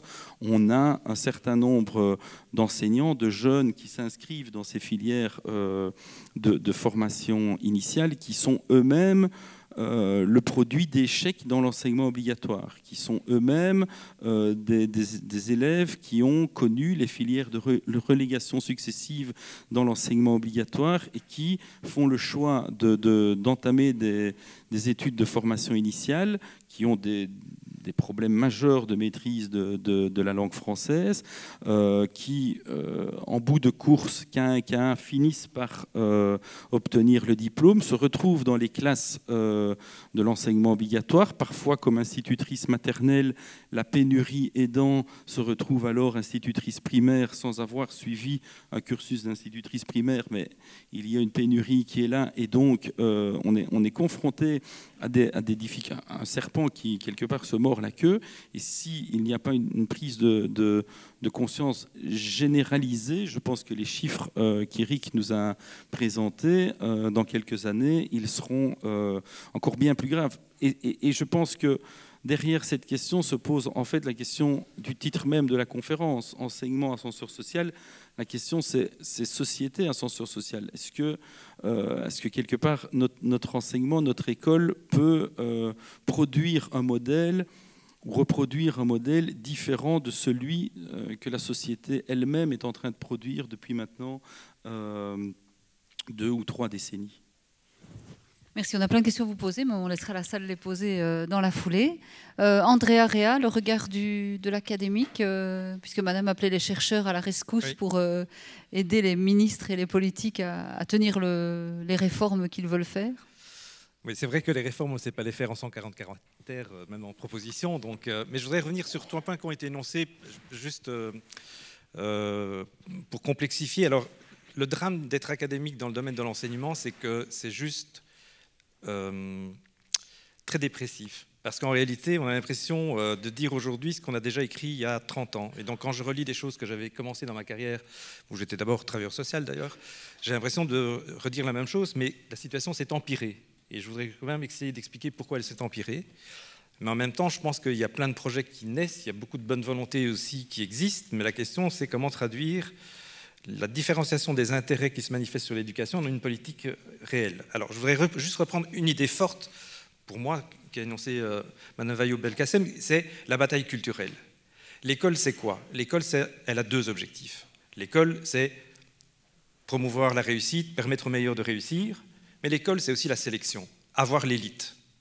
Et donc, elle est sur deux objectifs contradictoires, qui est, pour avoir l'élite, il faut d'une certaine manière enlever des gens. Donc la phrase que j'avais déjà dit il y a longtemps, c'était c'est pas un ascenseur social, c'est une montgolfière. Pour que l'élite puisse être consacrée, il faut lâcher du lest. Et le lest, c'est les relégués. Donc l'école a fonctionné dans un cadre national sur la logique de la sélectivité. Il y a les bons et il y a les mauvais. Comment on les sélectionne? Deux dispositifs particuliers en Belgique. On en a cité un qui est très important, qui est la question du redoublement. On est les champions dans le redoublement, on est champion en communauté française, ce n'est pas le cas du côté néerlandophone depuis, depuis 60 ans, depuis qu'on a les statistiques de 1960. La différence est toujours du simple au double. Elle est restée stable dans le temps, d'accord? Elle a diminué, mais elle est stable dans le temps. Donc il y a une, pédagogie autour de, la croyance que le redoublement a une vertu pédagogique pour faire réussir les personnes, en oubliant aussi que ça détruit l'estime de soi, que ça rend euh, les choses très compliquées dans le parcours. Mais il y en a une deuxième qui est très importante aussi en Belgique, qui est un peu différente par rapport à la France. C'est la question de la réorientation précoce. C'est-à-dire, une fois qu'on a 12 ans, on choisit si on va être à l'université ou soit devenir plombier. D'accord? Bon, juste pour le dire comme ça, je fais partie de la génération ou d'une génération qui a pu bénéficier de l'ascenseur social. Fils d'ouvrier italien, fin de primaire, bah, mécanicien auto, c'est normal. Les Italiens, ça roule des mécaniques, donc c'est normal qu'ils aillent en professionnel, d'accord? Pourtant, j'étais premier de classe, d'accord? Donc c'est des croyants sur ce qu'il faut faire. La seule chose, c'est qu'aujourd'hui, ces croyants se sont démultipliés sur cette question-là. Donc l'orientation précoce, c'est-à-dire, en fait, non pas choisir le professionnel, mais aller dans une section de relégation parce qu'on a raté dans l'enseignement, c'est juste un drame, c'est un gâchis, c'est un gâchis de vie de personnes, c'est un gâchis sur des carrières de jeunes, c'est un gâchis aussi sur le marché du travail. Donc là, il y a quelque chose, je pense vraiment, à réfléchir sur la bataille culturelle. C'est arrêter de considérer, et alors là, l'avantage, ce qui a tout changé dans, les études sur l'enseignement, c'est les, programmes PISA. Après, on peut les, on peut les critiquer, etc. Pourquoi? Parce qu'ils fondent une base de comparaison des systèmes éducatifs. D'accord? Quelle est l'explication entre ce qu'on connaît en Belgique et en France, encore qu'en France c'est un peu différent, et par exemple la Finlande qu'on cite toujours, par exemple, mais le Canada aussi? La différence c'est, nous avons un système de séparation. Le système de séparation c'est très tôt on doit considérer ceux qui méritent de continuer versus ceux qu'il faut reléguer dans l'enseignement professionnel à faire peut-être des métiers qu'on ne sait même pas s'ils existeront euh, le jour où ils arriveront sur le marché du travail par ailleurs. Donc, c'est un système de sélection. Le système intégré, qui est celui des Finlandais ou des Canadiens, c'est de dire non, non, non, non. L'école doit permettre à tout le monde de développer les capacités pour pouvoir réussir sur base de ce qu'ils veulent faire. C'est-à-dire un soutien permanent aux élèves pour pouvoir réussir. C'est-à-dire qu'on ne fait pas des écoles de voir en dehors de l'école pour soutenir la scolarité, on intègre dans l'école le suivi scolaire pour permettre à tous les enfants de pouvoir y réussir, avec un système école publique unique, pas de choix du tout de la part des parents de l'école dans laquelle ils doivent aller, d'accord? C'est important. Je, vais revenir. Non, non, mais oui, les ministres sont morts, mais à mon avis, l'éducation, il faudra que ce ne soit plus jamais un ministre qui veut faire carrière, parce que sinon, c'est la réforme, ce n'est jamais possible. Mais ça, je, me permets de le dire juste comme ça. mais, mais, mais, et l'autre critère qui est important, c'est des classes qui fonctionnent avec des élèves qui rentrent en classe à 6 ans, enfin 7 ans en Finlande, et qui finissent à 16 ans. C'est-à-dire un trop commun très long. D'accord? Avec une définition de ce qu'on veut faire dans le futur. On veut faire de l'enseignement général, on veut faire de l'enseignement technique et professionnel, ou on veut faire autre chose. Ça se fait le plus tard possible. Ça s'appelle un système intégré. Tous les systèmes scolaires intégrés ont des taux de performance scolaire à PISA qui sont plus hauts que ceux qui ont les systèmes de séparation. Donc, c'est l'organisation du système d'enseignement qui est à la base de ça ça va dans le sens du pacte d'excellence, puisque c'est un des principes fondamentaux, même si ça va être compliqué et que je pense qu'il va y avoir des bagarres entre les écoles pour savoir que faire, etc. Mais cette orientation euh, précoce est vraiment quelque chose d'important. Mais ça signifie de changer et d'aller dans le sens de ce que vous avez indiqué, la révolution culturelle, de ce point de vue-là. Il faut admettre que l'école ne sert pas à sélectionner les consacrés et à reléguer ceux qu'on ne veut pas voir. Il faut que l'école, dans une société globalisée et plus dans une structuration étatique où il faut faire des strates, des classes, des élites, des pauvres, etc., il va falloir sortir de ce point de vue pour dire qu'il faut construire un système qui permette à tout le monde de, de pouvoir développer ses capacités en fonction de ce qu'il peut faire. Et arrêter de si tu veux, tu peux, puisque ça, c'est juste le mythe, tu veux, tu peux, c'est pas vrai du tout. Il y a plein de gens qui voudraient, mais qui vont pas y arriver parce qu'il y a d'autres problèmes qui se posent sur lesquels je voudrais ajouter deux choses par rapport aux données qu'Eric a données, puisqu'il y a deux autres éléments que je pense qu'il faut aussi euh, préciser. Mais quand même, encore une fois, sur, cette question, c'est développer une autre euh, approche de l'école. C'est vraiment une bataille qui est compliquée. Pourquoi? Parce que jusqu'à présent, qu'est-ce qu'on a dit Et Mme me l'a dit clairement, je pense. Le problème, ce n'est pas les classes populaires qui ratent à l'école. Le problème, c'est les classes des élites qui veulent plus partager avec ceux des classes populaires. Parce que le ghetto des riches, c'est un ghetto choisi. Le ghetto des pauvres, c'est un ghetto subi. D'accord? À partir du moment où ceux qui décident je ne veux pas que dans mon école il y ait des gens qui ont un niveau plus faible parce que mon propre niveau va baisser, eh bien on ne va pas savoir de faire de réforme. Et donc la question qu'il faut se poser par rapport même au décret inscription, parce que je pense qu'il faut le revoir, parce qu'il a un problème le décret inscription. Décret inscription? Oui, pardon. C'est comme l'assignation d'une école à, des parents. Mais donc c'est la carte scolaire. C'est le principe de la carte scolaire revue euh, à la mode belge. Voilà. Mais, mais, mais donc, ce que je, sur, cette question-là, c'est important de dire il faut arrêter de parler uniquement de ceux qui ratent. J'aimerais bien qu'on parle aussi de ceux qui ne veulent plus participer à la société, ou qui veulent aller dans les écoles privées, ou qui vont de toute façon avoir plein de gens qui vont aller faire un master à Tokyo et puis un autre à New York, etc. Parce que cette séparation-là, c'est eux qui dominent le discours et qui interdit d'une certaine manière d'avoir l'idée de développer une école qui soit un lieu qui permette de fonctionner comme un ascenseur social dans le sens que vous avez évoqué précédemment. Mais je pense que ça, c'est une bataille culturelle et qu'il faut arrêter simplement de dire c'est le problème des pauvres qui réussissent, pas le problème, c'est ceux des riches qui ne veulent plus partager d'une certaine manière leur scolarité avec d'autres écoles. Deux problèmes se posent en plus de ceux qu'on a évoqués. Le premier, c'est de voir que dans les chiffres qu'Éric a donnés, c'est très important les chiffres qu'Éric a donnés, mais ce qui est important quand même de voir, c'est que ce sont des moyennes. Le drame en Belgique, et en France aussi d'ailleurs, le drame, ce n'est pas les moyennes, c'est la dispersion entre ceux qui réussissent le plus et ceux qui réussissent le moins. À 15 ans, dans le test de mathématiques, il y a 6 ans de différence entre les plus hauts scores et les plus bas. Donc, le plus haut score, il a 15 ans, le plus bas, il est considéré d'avoir 9 ans par rapport à sa scolarité. Donc le drame qui existe en Belgique et dans beaucoup de pays euh, européens, c'est la question de la dispersion entre les meilleurs scores et les moins bons. Et ça, ça croît. Alors, la bonne nouvelle pour la communauté française, c'est qu'entre les tests PISA de 2009 et celui de 2012, il y a eu un resserrement. Donc, on voit bien qu'on fait, fait attention à ça. Mais c'est une véritable question importante, c'est de nouveau de voir que les moyennes ne suffisent pas pour bien comprendre. On voit bien qu'aujourd'hui, la question du déterminant socio-économique est de plus en plus fort. Mais il n'y a pas que ça, parce que ça aussi, euh, je m'excuse, Mario Belkacem l'a dit tout à l'heure, ce qui compte aussi, c'est qu'on cumule dans les écoles où la population est avec des indices socio-économiques les plus faibles, les élèves qui ont aussi les taux de réussite les plus bas. C'est-à-dire qu'on cumule les, dans les mêmes écoles tous les problèmes sociaux, les problèmes économiques des parents, le niveau de scolarité plus faible, le niveau de diplôme des parents le plus faible, mais aussi probablement des questions de comportement plus compliquées, des questions aussi locales beaucoup plus compliquées, etc. Donc cette question sur la dispersion, il faut vraiment la prendre en compte. Mais aujourd'hui, l'autre élément, c'est pour ça que le décret inscription est vraiment important, et il est vrai dans beaucoup de pays. Je rappelle que selon les données PISA, accrochez-vous, le degré de ségrégation scolaire, on pourrait appeler presque ça apartheid scolaire, est plus élevé qu'aux États-Unis. Je répète, le degré de ségrégation scolaire en Belgique est plus élevé que dans l'école publique américaine. D'accord? Donc, ça signifie que notre système a quelques ratés et qu'il y a une distribution tout à fait inégale, en fait, entre les écoles et le type d'élèves. C'est-à-dire qu'on retrouve exactement le même type d'élèves dans certains types d'écoles spécifiques. Aujourd'hui, ce qu'on voit, c'est qu'en raison de la ségrégation scolaire, l'impact négatif de l'indice socio-économique est plus élevé.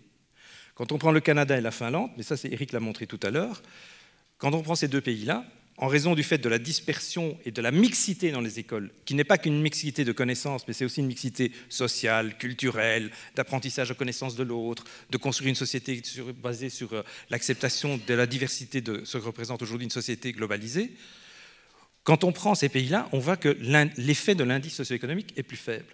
Donc, travailler sur la ségrégation scolaire, je termine là-dessus, travailler sur la ségrégation scolaire est important. Mais on ne va pas régler la ségrégation scolaire si on maintient la ségrégation spatiale des populations. Parce que ça, c'est le vrai problème. C'est-à-dire qu'à partir du moment où on maintient l'idée qu'il va y avoir des quartiers de pauvres et des quartiers de riches, ben on aura des quartiers de pauvres où il y a des pauvres écoles et des quartiers de riches où il y a des riches écoles. Donc cette question de la ségrégation spatiale, de la mixité dans les quartiers, en particulier urbains, ou dans les, formes d'enclave urbaine est vraiment un vrai problème euh, important qu'il va falloir confronter. Donc, sur les pistes, je pense qu'il faut arrêter avec le redoublement, en plus qui coûte 400 millions, mais enfin ça c'est un autre débat. Il faut revoir le système avec un système beaucoup plus, enfin, prévu dans le, dans le pacte, hein. donc ça c'est l'idée du tronc commun, beaucoup plus long, avec une réorientation tardive, plus tarde, il y a la question de la formation des maîtres qui est fondamentale. Je voudrais juste donner, donc, dans l'enquête, et je m'excuse parce que j'aurais dû dire une série de chiffres, et je suis vraiment désolé, j'aurais dû faire tout de suite d'ailleurs, de données que je vous donne viennent d'une enquête réalisée par le professeur Dirk Jacobs, dans le cadre d'une ERC qu'il a eue, réalisée avec euh, Julien Danier, avec Émilie Martin et Alejandra Alarcon. Alors, ça ne peut pas être publié dans le soir en quatre colonnes parce que c'est plus compliqué que ça, mais en fait, les résultats qu'ils donnent sont fondamentaux. Ils ont fait une enquête auprès de 10 000 jeunes, 365, et 365 classes, 150 écoles, test de mathématiques. Quel est le problème en mathématiques? Dans les écoles, le taux où le taux de réussite aux tests de mathématiques est le plus élevé, les profs sont des profs de maths. Dans les écoles où le taux de réussite aux mathématiques est le plus faible, les profs ne sont pas des profs de maths. Alors, on se retrouve avec la formation initiale. Alors on peut dire qu'il faudrait qu'il fasse une autre pédagogie. La question, ce n'est pas qu'il doit faire une autre pédagogie. Par rapport à la formation initiale des maîtres, la question n'est pas celle de la pédagogie, la question c'est la formation dans la discipline. Si on a des profs de maths, ben, ils pourront faire des maths. Si on a des profs de physique, ils pourront faire de la physique. Donc il ne suffit pas de dire qu'il faut changer la pédagogie. Il faut aussi renforcer les disciplines. Si on déforce les disciplines, ben, demain, il n'y aura plus de mathématiciens euh, qui vont pouvoir travailler. Donc ça, je crois que c'est vraiment aussi important de pouvoir le dire. Et je voudrais juste euh, la toute dernière proposition. Je pense qu'on est dans la bonne piste sur la question du renforcement de l'encadrement différencié, c'est-à-dire aller dans le sens. Alors ça, c'est vraiment aussi une politique qu'il faut justement pas dire, hein, parce que ça, c'est pas, pas bon. Mais donner plus d'argent là où il y a plus de difficultés, je pense que c'est une manière de fonctionner, mais je pense qu'elle ne peut fonctionner que de manière transitoire. La question, c'est de passer à autre chose après sur un modèle plus finlandais, plus canadien. Si on ne veut pas demain se faire manger complètement par les Asiatiques, il va falloir peut-être aussi qu'on ne soit pas complètement à la traîne sur l'éducation. Merci beaucoup.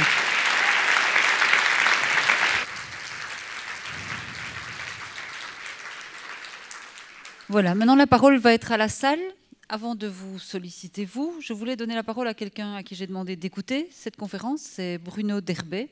Alors Bruno Derbet est un sociologue, philosophe, qui est aussi euh, qui a une expérience en fait euh, à Scarbet, qui a une expérience d'école euh, de formation à la citoyenneté à l'intérieur de son école, et qui aujourd'hui a suivi aussi des cours liés à la gestion de la radicalisation, etc. Thématique qu'on n'a pas abordée, et c'était un peu la crainte de tout le monde, c'est qu'on tombe dedans directement et qu'on perde de vue la, la peinture socio-économique et sociale globale.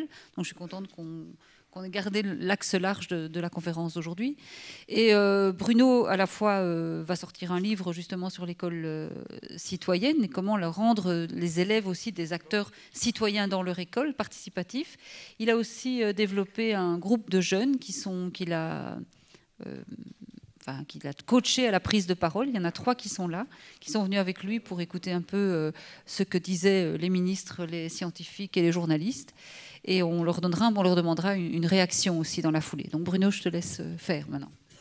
Merci Béatrice euh, de me donner la possibilité de réagir à cette conférence. Euh, et pas de crainte, je ne parlerai pas ce soir de radicalisation. la première chose à laquelle j'avais envie de, de réagir, c'est le simple titre de la conférence. L'ascenseur social est-il en panne?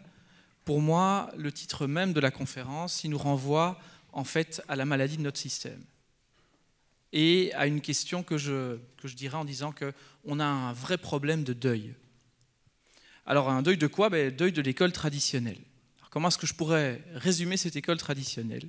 Dans l'école traditionnelle, le maître est celui qui incarne les connaissances auxquelles il invite les élèves.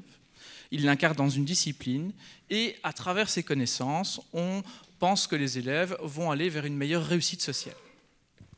Et aujourd'hui, mais hier aussi, je pense, cette manière de voir la, connaissance en lien avec la réussite est profondément inadéquate. Lorsqu'on regarde les types d'intelligence qui sont utiles dans la vie et qui sont utiles dans l'école ou pour apprendre de manière générale, on se rend compte qu'il n'y a pas que la logique mathématique, il n'y a pas que les logiques linguistiques, qui sont les, les deux intelligences les plus travaillées à l'école, il y en a six autres. Il y a l'intelligence musicale, il y a l'intelligence kinesthésique, il y a l'intelligence intrapersonnel, interpersonnel, et euh, je travaille très régulièrement dans la question de l'accrochage scolaire. Lorsqu'on est face à des élèves qui sont en décrochage, 9 fois sur 10, ils ont un capital dans les intelligences non travaillées par l'école qui est très bon, ou qui est assez bon, en tout cas pas moins bon que les autres. Mais par contre, ils ont intégré, parce qu'on a focalisé sur certaines intelligences, qu'en fait, ils étaient mauvais. Ça va donner des exemples du genre, un élève qui, il y a deux mois, dans une école de Molenbeek, me dit Mais monsieur, vous savez bien comment c'est. Dans l'école, il y a les générales, il y a les techniques, il y a les professionnels. Et nous, on est en professionnel à Molenbeek et on est en décrochage. Euh, cet élève avait par ailleurs une capacité de lecture de la société qui était incroyable, relationnellement dans le groupe, il était super bon. La seule chose, c'est qu'en maths, il n'y arrivait pas. Et il avait un parcours de décrochage qui partait de sa difficulté en maths. Donc, première maladie, dans le cercle des intelligences, on a mis un ascenseur. Certaines sont mises au-dessus. Et du coup, on a un vrai problème par rapport non seulement à une diversité de public, mais aussi à une diversité de capacités pour s'épanouir dans la société. Deuxième problème, prenons ces intelligences logico-mathématiques et linguistiques. Auparavant, le maître en était le garant. Ça veut dire quoi? Ça veut dire que moi, quand j'étais jeune, le seul risque du prof, c'était de dire quelque chose avec lequel ma mère ou mon père n'étaient pas d'accord. Aujourd'hui, un bon prof, dans le meilleur des cas, c'est une source parmi d'autres. Ce qui fait qu'aujourd'hui, pour être prof, je ne peux pas inviter à la connaissance. Je dois accompagner dans la connaissance. Ça veut dire que je dois non seulement pas déterminer à l'avance les contenus, il y en a des milliers, ils sont tous disponibles sur le net, mais en plus, je dois apprendre aux jeunes à les chercher, à les critiquer, à les partager, à les comparer. Cette différence de posture fait que la posture du maître, elle est en crise complète. Et lorsqu'on va dans les écoles, il y a énormément d'enseignants qui ne savent plus comment faire. La crédibilité de l'école pour apprendre, y compris dans les intelligences traditionnelles de l'école, elle est en chute libre. Du coup, qu'est-ce qui reste de l'école? Eh bien, la fonction de sélection, la fonction d'ascenseur par rapport à certaines positions. Bref, premier, élément, alors les, les chiffres dont on a pas mal parlé aujourd'hui montrent qu'on est en train de prendre le mur les chiffres en termes de décrochage, les chiffres en termes de coûts sociaux, et là on peut mettre euh, sur la bande la question de la radicalisation, il y a énormément de dégâts, et donc on a du mal à faire le deuil de cette école-là. Et autre élément qui nous montre qu'on a du mal à faire le deuil, eh bien, ce sont les résistances. Les résistances qu'on rencontre, Najat Vallaud-Belkacem en a parlé, lorsqu'on essaye de faire bouger ce colosse scolaire, eh bien, il y a énormément de résistances de personnes qui, qui sont encore accrochées à une manière de voir l'enseignement. Deuxième élément, et là je pars de votre intervention, euh, Najat, sur cette question de l'ascenseur social où on va dire, mais le but de l'ascenseur social, c'est de rebattre les cartes. On avait les cartes qui sont les cartes de la naissance, et un des objectifs, c'est de rebattre les cartes pour que ma naissance ne conditionne pas mon aventure dans la société. Je trouve que cette formulation est aussi euh, l'indice de notre maladie dans la manière de voir les choses. Je vais prendre plusieurs exemples. Euh, évidemment, ce sont des exemples belgo-belges. Le décret inscription dont on a déjà parlé.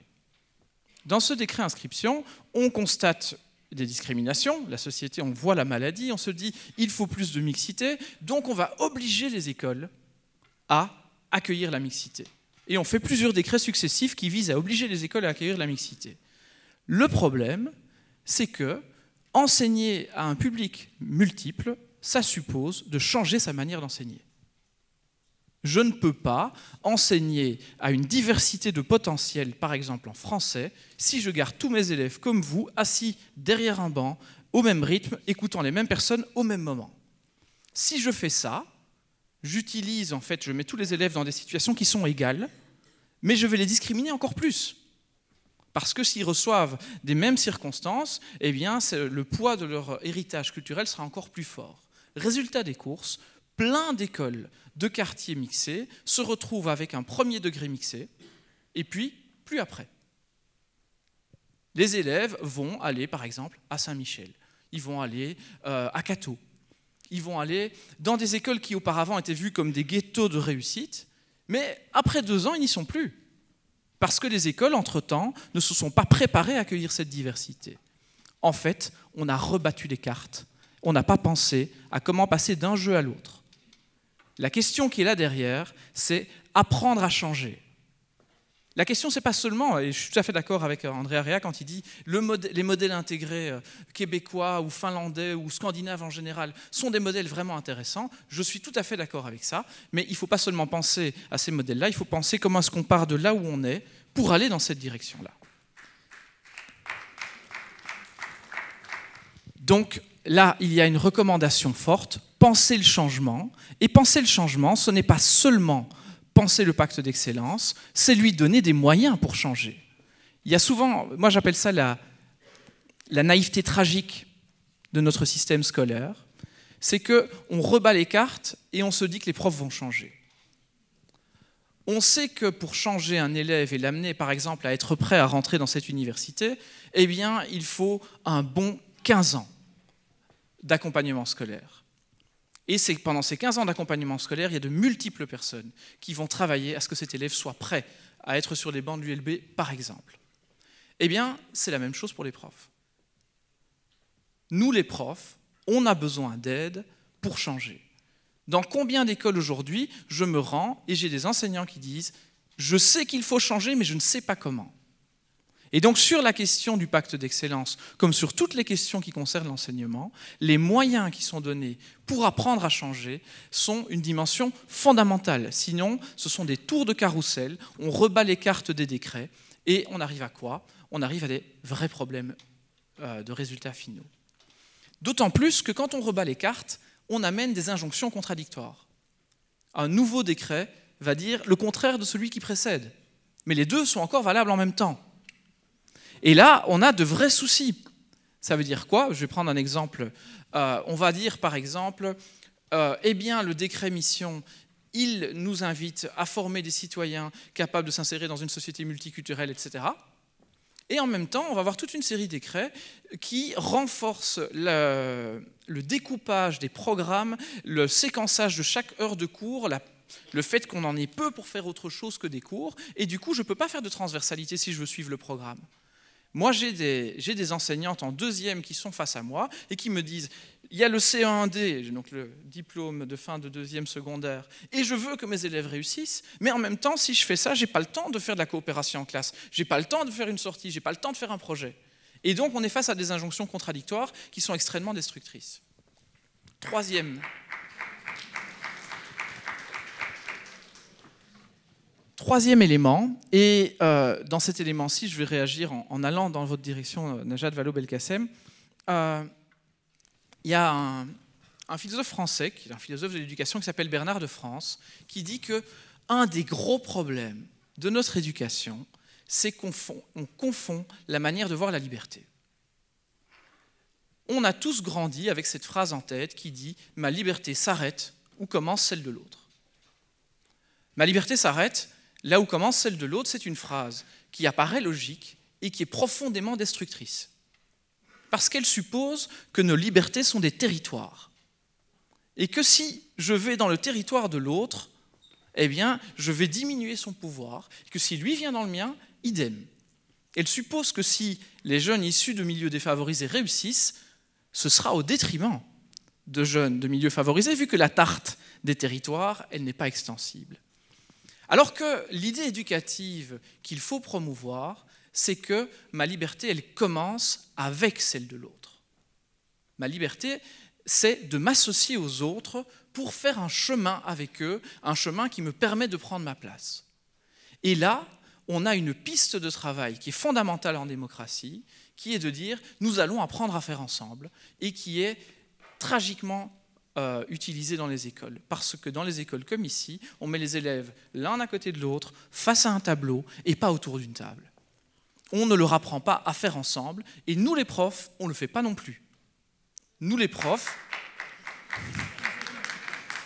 Oh non, n'hésitez pas hein, quand vous avez envie d'applaudir. Nous les profs, on nous a appris à être tout seuls dans une classe avec 25 élèves qui nous font face. Essayer de faire travailler les profs ensemble dans une salle des profs, c'est la préoccupation première ou presque de toutes les directions que je connais. Et ce n'est pas parce que nous, les profs, on est de mauvaise volonté, c'est parce que la structure est faite comme ça. Et là, on a une piste qui est fondamentale, c'est que si notre école, c'est ce que je dis dans mon bouquin, c'est ce que j'essaye de dire un peu partout, si notre école veut enseigner la citoyenneté, si notre école veut être non seulement un, un levier pour que les jeunes prennent leur place, mais aussi un outil du vivre ensemble, il faut qu'elle fasse ce qu'elle dit. Il ne faut pas seulement qu'il y ait liberté, égalité, fraternité sur le fronton. Il faut qu'à l'école, j'ai la liberté de m'associer avec d'autres. Il faut que j'ai la liberté de faire des projets. Il faut que je puisse m'essayer. Et quand on fait ça, on a un gros problème parce que ce n'est pas vraiment évaluable. Bruno Oui. On va devoir donner le. J'ai presque fini. Ça tombe bien que tu, que tu m'annonces la conclusion. Ce n'est pas vraiment évaluable et là, on rentre dans un vrai souci de confiance. Ce, que, ce qui me renvoie en fait à un élément qui n'est pas évident mais qui pour moi est fondamental, c'est que les soucis des écoles et les zones de solution, elles sont dans le fait de redonner de l'intelligence collective au niveau local. Et c'est ce que Andrea Rea euh, désignait lorsqu'il parlait d'enseignement intégré. On repense la logique au niveau des écoles et on donne des moyens pour que ces écoles changent, on leur donne des moyens pour qu'elles ne soient pas que des sommes de cours qui s'adressent à des élèves pris de manière passive. Voilà, merci. tes élèves Alors tu nous présentes tes jeunes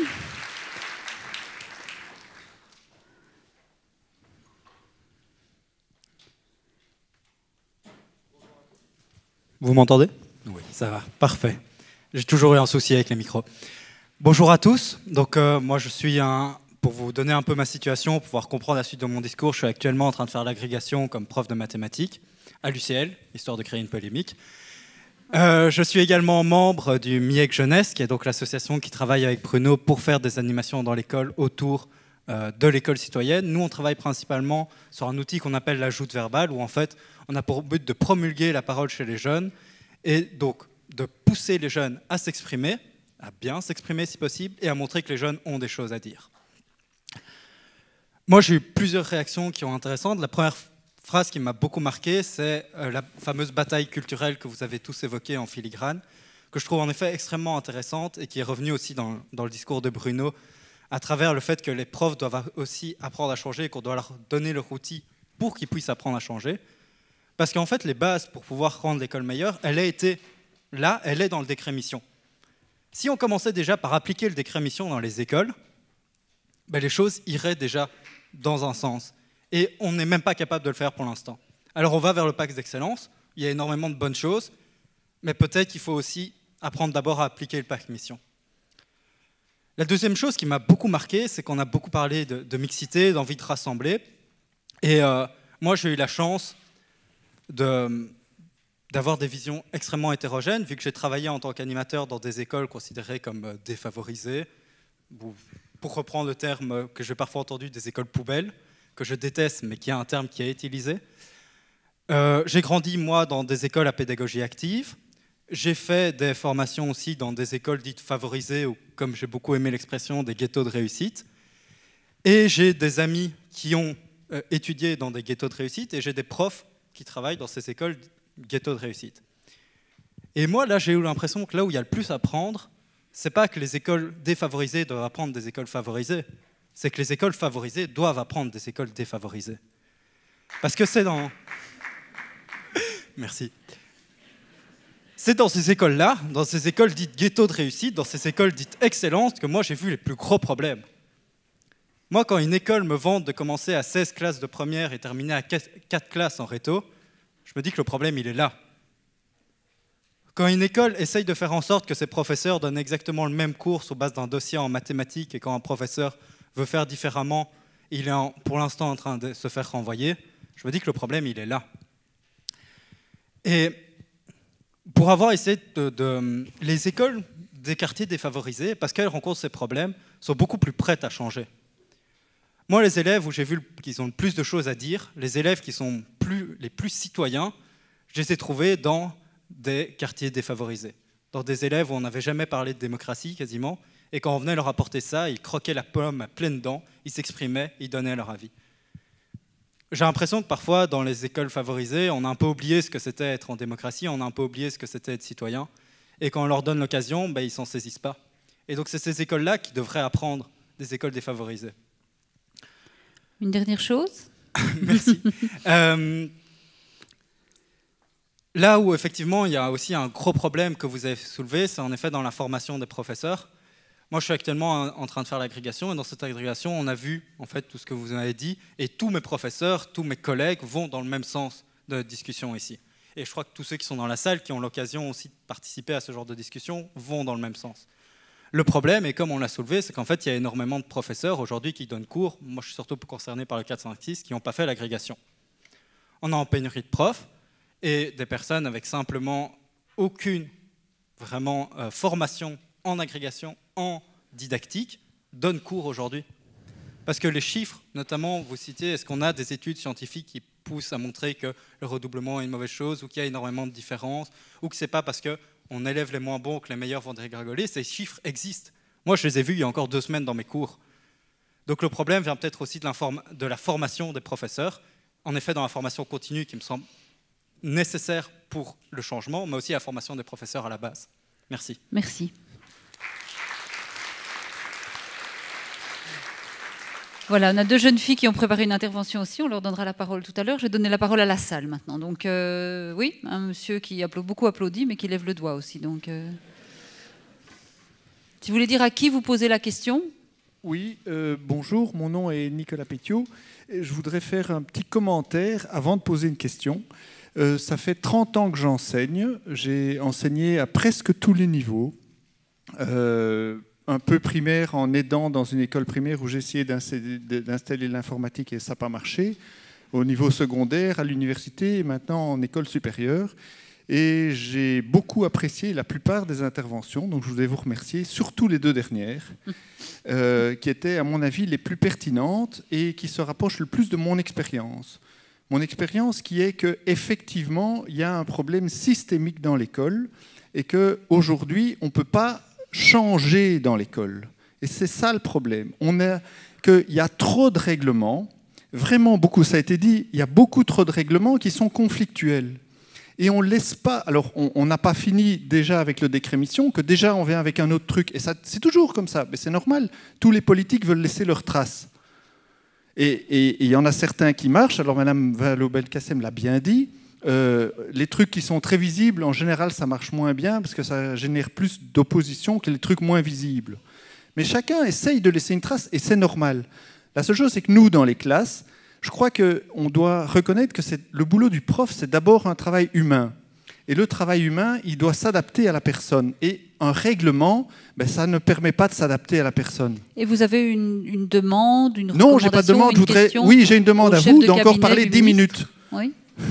Non, non, non, cinq minutes. Donc ma demande, c'est que vous me laissiez parler. Il n'y a pas de problème si vous Merci rassemblez et que vous posez une question à un des membres du je ne veux pas poser de questions. Ah, vous m'avez dit que vous aviez une question à poser. Non, je ne veux pas poser de questions. Je veux faire une Alors, terminez votre euh, D'accord, je vous remercie. Donc, ma première remarque, c'est il y a trop de règles et on ne laisse pas assez aux écoles la possibilité de s'adapter et de trouver eux-mêmes ce qui convient à leur population. Et ça a été dit euh, par l'avant-dernier intervenant. Donc il faut de l'autonomie. L'autonomie aujourd'hui, ce n'est pas le sens que les politiques aiment. Ils aiment bien, et c'est pas malheureusement, ce n'est pas le politique. Je crois que le politique, c'est juste le reflet de la société. La société aujourd'hui veut plus réguler, on veut plus de sécurité, on ne veut pas faire confiance aux gens. Je crois qu'il faut d'abord faire confiance aux profs, et que les profs fassent confiance aux élèves, et que les directions d'école fassent confiance aux profs, et que les ministres fassent confiance aux directeurs d'école et limitent les règlements. Moins de règlements pour tout le monde, on se portera tous mieux. Ok. Moi, je suis... Non, je vais encore terminer. Laissez-moi parler, s'il vous plaît. Oui, monsieur, je veux vous laisser parler, mais vous devez laisser passer, parler aussi le reste de la salle. Oui, mais je laisserai passer la salle. Si vous, on terminera dix minutes plus tard, c'est pas difficile. Mais on est déjà un peu en retard. Donc Oui. Dites-nous une deuxième remarque, et puis alors je cède la parole à quelqu'un d'autre. D'accord. Donc, euh, pour le moment, on ne permet pas de changer assez bien et on ne résiste pas assez bien aux lobbies, les lobbies de différents niveaux. Alors, Madame Vallaud-Belkacem, j'ai une critique pour vous très très forte. Vous avez signé un accord avec Microsoft. Ça, c'était une erreur. Une erreur parce que Microsoft devient, et l'école accompagne Microsoft comme prescripteur d'achat. Ça, c'est une erreur. L'école ne peut pas être un prescripteur d'achat. Et oui, mais vous avez signé l'accord avec Je propose qu'on la laisse répondre, puisque oui, vous oui, d'accord.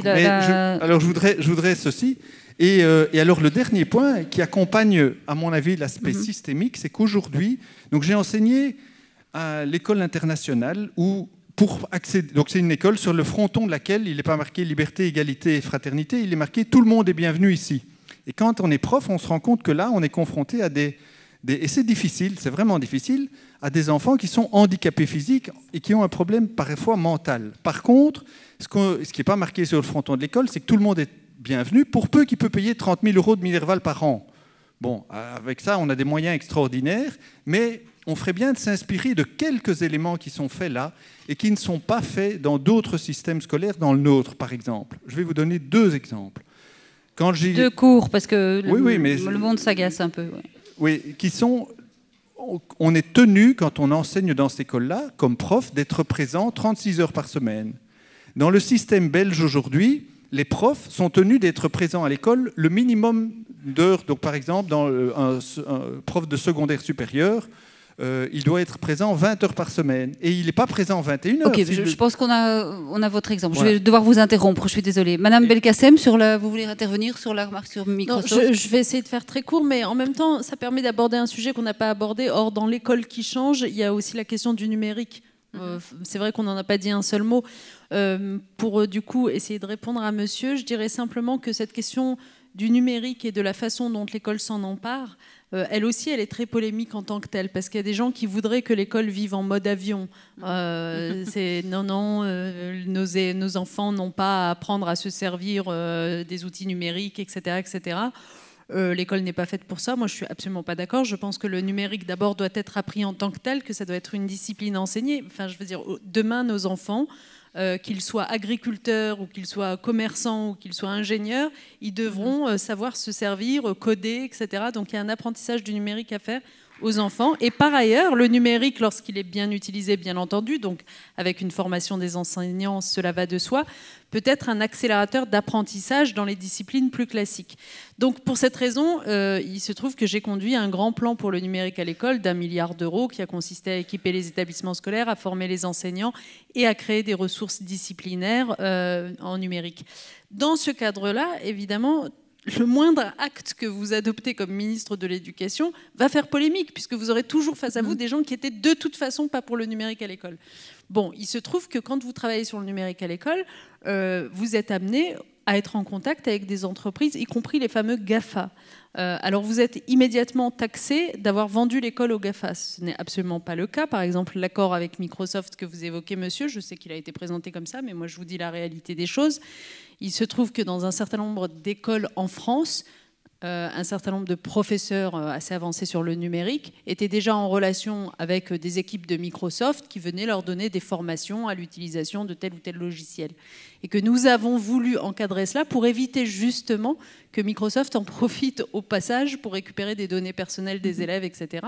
Et donc nous avons fait un partenariat pour préciser dans quelles conditions des formations pouvaient être données aux professeurs sans que ne soient utilisées les données des élèves. Vous voyez comme la vérité se tord très facilement, mais en tout état de cause, moi je pense qu'on ne peut pas juste fermer les yeux et se dire euh, non, on a peur des GAFA, on a peur de tout ça et donc on ne fait rien. Donc il faut faire, il faut adopter des chartes éthiques, il faut éviter que les données personnelles des élèves soient insécurisées, mais en même temps, il faut apprendre aux élèves à se servir d'Internet, à se méfier des fake news qui euh, circulent sur le web, à éviter d'être cyberharcelés, à éviter de laisser leurs données personnelles n'importe comment. Et tout ça, si vous n'avez pas d'équipement, si vous n'avez pas de formation des enseignants, vous ne le faites pas.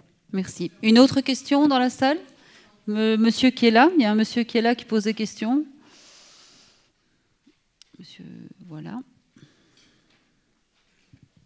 Oui, voilà, bonsoir. Donc, moi, je suis de la Fédération des étudiants francophones, donc le syndicat étudiant de la Fédération Wallonie-Bruxelles. Et j'avais une question pour. Euh, Monsieur Pelosetto, donc, qui est le représentant du cabinet Marcourt ce soir. Donc, si on veut que l'école joue son rôle d'ascenseur social, encore faut-il qu'on puisse y avoir accès à cette école. Monsieur Pelosetto, vous parliez tout à l'heure de la formation initiale des enseignants. Vous oubliez sans doute de nous dire qu'à l'entrée de ces études, le cabinet va introduire un test d'orientation non contraignant en maîtrise de la langue française. Alors derrière ce beau mot qu'est l'orientation, il s'en cache un autre un peu moins joli que Najat Vallaud-Belkacem a évoqué, qui est la sélection. Parce qu'en fait, il faut oser le dire, une orientation qui se base sur des résultats négatifs à un test qui n'est pas socialement neutre, puisqu'il s'agit de la maîtrise de la langue française et que c'est démontré que certaines classes de la population ont plus de facilité à la maîtriser, ça s'appelle de la sélection. C'est également une sélection en raison des freins symboliques qui constituent un test à l'entrée d'une formation. Alors moi, je vous pose la question, au vu du bilan de M. Marcourt, donc c'est-à-dire un examen au concours d'entrée en médecine, un concours en vétérinaire et bientôt le test d'orientation en formation initiale des enseignants, est-ce que vous avez vraiment envie que cet ascenseur social fonctionne?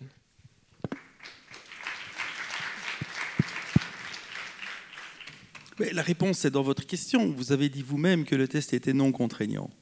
Donc je, pense que voilà, c'est effectivement un test parce que je pense qu'il est peut-être important à l'entrée euh, au supérieur qu'un certain nombre d'étudiants sachent où ils en sont. Et l'objectif que poursuit un test comme celui-là, c'est de donner un certain nombre d'indications aux étudiants pour faire en sorte que euh, peut-être plus que euh, un tiers seulement réussissent en fin de premier bac. C'est ça la réalité aujourd'hui. Et c'est inacceptable pour n'importe quel ministre de constater que euh, un tiers des étudiants seulement réussissent leur première année à l'université ou en haute école. Et donc faire un test non contraignant pour euh, des étudiants qui sortent d'humanité, qui viennent effectivement d'établissements d'enseignement secondaire très diversifiés. On a évoqué tout cela tout à l'heure sur les, différences de niveau que les étudiants, les rhétoriciens avaient lorsqu'ils arrivent dans l'enseignement supérieur. C'est une réalité. On peut évidemment euh, la regretter, mais c'est la réalité de notre système d'enseignement aujourd'hui. Et donc ce, test, il est là pour cela. L'examen d'entrée euh, en médecine, bon, je ne vais pas refaire l'historique parce que ce n'est pas le débat d'aujourd'hui, il est quand même lié à des, contingences euh, nationales et fédérales autres. Le ministre Marcourt a toujours dit qu'il était contre l'idée même d'un examen d'entrée aux études supérieures, à l'université en particulier la réalité de l'examen d'entrée et du concours en médecine avant, c'est que sans cet examen-là, euh, il n'y aurait pas eu euh, de numéro INAMI pour tous les étudiants qui étaient dans le cursus en médecine. Donc c'est un, débat euh, évidemment communautaire beaucoup plus large que, que, le simple examen d'entrée. Et après, je reviendrai sur la difficulté qu'il y a à gérer un secteur comme celui-là. Vous évoquez la position des étudiants et elle est éminemment respectable. Un ministre, il s'inscrit aussi euh, dans la gestion, quand il, gère son ministère, dans euh, un équilibre entre l'ensemble des acteurs euh, de l'enseignement supérieur. La Fédération des étudiants est un acteur éminemment important de l'enseignement supérieur, c'est pas le seul. Et sur la question de l'examen d'entrée, par exemple, ou d'un test contraignant plutôt que non contraignant, bah, il faut juste constater qu'aujourd'hui, en disant test non contraignant, je pense que fondamentalement, le, ministre balance plutôt du côté des étudiants que d'autres acteurs de l'enseignement supérieur. Voilà, mais ce n'est pas, euh, disons, euh, une satisfaction personnelle, c'est une conviction qu'il a euh, de faire en sorte qu'on ne puisse pas, à un moment donné, instaurer, et il a d'ailleurs déclaré hein, qu'on ne puisse pas instaurer des examens d'entrée à l'enseignement supérieur. Madame Valo-Belkacem, c'est intéressant peut-être d'avoir votre avis justement sur les tests d'entrée, les, sélections à l'entrée, les, tests de, pour vérifier que les gens sont à niveau. Euh, on dit que ça les aide, que ça permet de... moi, mon sentiment personnel sur ce sujet, c'est vraiment que euh, la caractéristique de l'université, ça doit être d'être ouverte à tout le monde. Vraiment, je, je, pense que c'est justement ce qui la distingue. À la limite, euh, si on veut absolument un système sélectif, on en a un, c'est les grandes écoles. Quoi. la caractéristique de l'université... Pas ici, évidemment. Hein, ah pardon, moi je parle de la France, alors je ne suis pas sûre de... Mais bon, vous me direz si ça correspond ou pas. Mais euh, la caractéristique de l'université, ça doit être euh, de finalement d'offrir un bain de culture en tout état de cause, euh, libre d'accès. Alors évidemment, on n'est pas obligé de se satisfaire d'un taux d'échec. bien sûr qu'on a conscience que le taux d'échec est, est, important en licence pour ce qui nous concerne, par exemple, mais on peut, on peut apporter des solutions. D'abord, la meilleure façon de lutter contre l'échec, c'est évidemment d'avoir un taux d'encadrement euh, important à l'université. Or, aujourd'hui, je ne sais pas ce qu'il en est pour la Belgique, mais en tout cas pour la France, euh, le problème principal, c'est qu'on a un afflux d'étudiants et finalement, euh, on n'a jamais mhm. les moyens à la hauteur pour avoir un encadrement qui permette justement de ne pas avoir uniquement des cours d'amphi, mais aussi des TD, des travaux dirigés en petits groupes, d'avoir un meilleur accompagnement, d'avoir des passerelles possibles. Euh, deuxièmement, euh, euh, par exemple, en France, il se trouve que ceux qui échouent le plus en licence, ce sont les bacheliers professionnels. oui, mais en même temps, on se rend compte que les bacheliers professionnels, quand on regarde leurs premiers vœux au sortir du bac pro, en fait, ils demandent moins à aller à l'université qu'à aller en BTS, par exemple. Je ne sais pas si ça correspond mm. à quelque chose ici. Bon, alors c'est des filières euh, plus courtes de deux ans, en gros, d'enseignement supérieur, mais plus professionnalisantes, on va dire. Ils demandent plus à aller à ça. Or, euh, il n'y a pas suffisamment de place dans ces filières-là, donc du coup, on les renvoie à l'université. Donc la solution pour les pouvoirs publics, c'est de multiplier les places dans ces filières-là plutôt que de les laisser venir euh, échouer à l'université. Donc je pense que en fait, la première des solutions, c'est toujours finalement de consacrer plus de moyens malgré tout. Euh, c'est moins confortable pour les pouvoirs publics parce que ça demande des financements, mais, mais que la solution de la sélection, c'est une solution d'échec pour moi. C'est-à-dire que finalement, c'est plus confortable parce qu'on se pose moins la question des moyens, mais à la fin, on y perd. Une autre question? Il y a un monsieur là? On va vous apporter un micro.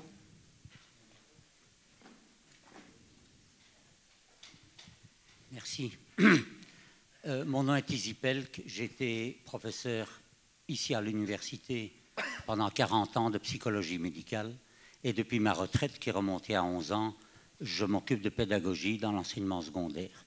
Alors j'étais très sensible à, tout ce qui a été dit, entre autres des gens qui enseignent que vous avez fait venir, parce que je crois que, et, vous l'avez tous dit aussi, c'est un autre état d'esprit qui doit être créé chez les enseignants. Je crois que nous, médecins, nous partageons avec les enseignants la notion de vocation. Je ne connais pas d'enseignant qui n'ait pas la vocation d'enseigner comme les médecins ont la vocation de traiter, de s'occuper de gens. Et donc il y a une dimension qui est cette dimension humaine que M. Euh, Réa a, a noté à plusieurs reprises, cette dimension humaine, je crois qu'elle fait un peu défaut aujourd'hui. Or, la dimension humaine, excusez-moi les politiques, mais je crois que ce n'est pas du ressort politique. On ne peut pas le prescrire, on, peut offrir des, espaces pour que ça se fasse, mais ça doit être individuel à chaque personne qui enseigne. Et donc, on a fait comme euh, monsieur le sociologue, je crois, ou le philosophe. Oui, Derbet. Le Derbet, Monsieur excusez-moi. Monsieur Derbet l'a dit. Euh, j'ai aussi publié un bouquin à l'école du bien-être. À l'exergue de mon livre, j'ai mis une citation de John Lennon qui dit Quand j'étais à l'école, on m'a demandé ce que je voulais faire plus tard. J'ai dit Je voudrais être heureux. Alors, l'instituteur lui a dit Mais vous n'avez pas bien compris la question. J'ai répondu Moi, John Lennon, vous n'avez pas bien compris la vie. Voilà. Monsieur Réa, vous vouliez répondre, je crois Donc je crois que, mais vous l'avez dit tous, les, missions de l'école, comme Durkheim l'avait déjà dit, c'est le développement personnel, Monsieur Réa, aussi. Donc on doit être heureux de ce que l'on fait, heureux de la façon dont on acquiert. C'est pas être le meilleur parmi les autres. Les intelligences sont multiples. Tout le monde ne peut pas faire du calcul. Tout le monde ne peut pas écrire des romans policiers. Tout le monde ne peut pas tout faire. Ça, c'est tout à fait vrai. Mais il faut que les enseignants et donc, dans la formation de base, il faut plus d'humanisme et on a développé une méthode, je peux vous la fournir, des ateliers du bien-être. On a tout un programme euh, pour cela. On l'a fait au lycée d'Ashbeek, qui, qui, est une école à discrimination positive, parce qu'ils ont effectivement un recrutement euh, socio-économique très bas. Et avant qu'on fasse l'expérience, avant qu'on fasse l'expérience, il y avait 5% de la population étudiantes qui ne pouvaient plus se réinscrire parce qu'ils rataient trop, ils étaient mauvais, ils se comportaient mal, etc. Huit ans plus tard, après avoir formé les enseignants, donc le métier doit changer, je crois, aujourd'hui. Après avoir formé les enseignants, ce taux de 5% est passé à 1%. Donc je crois que c'est une réussite. Merci. Merci. Monsieur Réa? Je vais je, partage évidemment toute cette idée-là, mais je pense que cette question d'humanité devrait être aussi instillée auprès d'un autre acteur qui joue un rôle important aujourd'hui, c'est les parents. Parce que les parents, ce qu'ils veulent, c'est la compétition. Et donc, non, mais je, pense que ça, c'est vraiment quelque chose qu'on pas. A cité l'école, on a cité les enseignants, etc. On voit bien que ce qui fait les problèmes qu'on énonce ici, c'est aussi la compétition que les parents font sur l'école qui devient un quasi-marché. Hein, on prend cette école-là, si on veut pas. le décret inscription en est vraiment la traduction la plus totale. Le principe, c'est d'essayer d'éviter certaines écoles. Et donc, il y a toutes des stratégies qu'on développe pour éviter l'école. Donc, je pense que ce qui est vraiment important de réfléchir aussi par rapport à ça, c'est ce qu'il y a lieu de dire aux parents sur ce n'est pas parce que l'école n'est pas celle que vous avez imaginée que votre enfant va avoir un niveau scolaire plus bas. Et je pense que ça, et en plus, pour le coup, c'est vrai, il y a plein d'études qui le démontrent. Et c'est presque impossible de convaincre parce que c'est une question de croyance. La croyance inverse est plus forte que toutes les données statistiques qu'on peut donner. Mais je pense qu'il faut passer nécessairement par là pour essayer de pouvoir euh, avancer. Si on ne met pas les parents dans l'histoire, ben en réalité, la question de la compétition va pouvoir continuer de manière perpétuelle. Voilà, on a un peu avancé dans notre euh, timing, donc on devient un peu, il est temps de conclure. Donc je voudrais donner la parole aux deux petites euh, jeunes filles qui ont présenté leur, préparé leur intervention et qui voulaient s'adresser à vous et à vous au panel.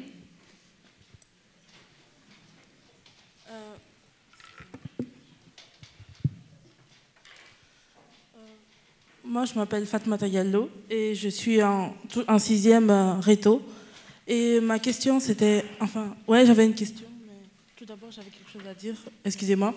Le fait que, en fait, les métiers de plomberie, de boulangerie, en fait, se retrouvent en fait discriminés. Et ce qui fait en fait que personne n'a envie de faire ces métiers. Alors, on se retrouve à faire quoi? Alors, les parents, vous parlez de la fait, le fait que les parents font cette compétition.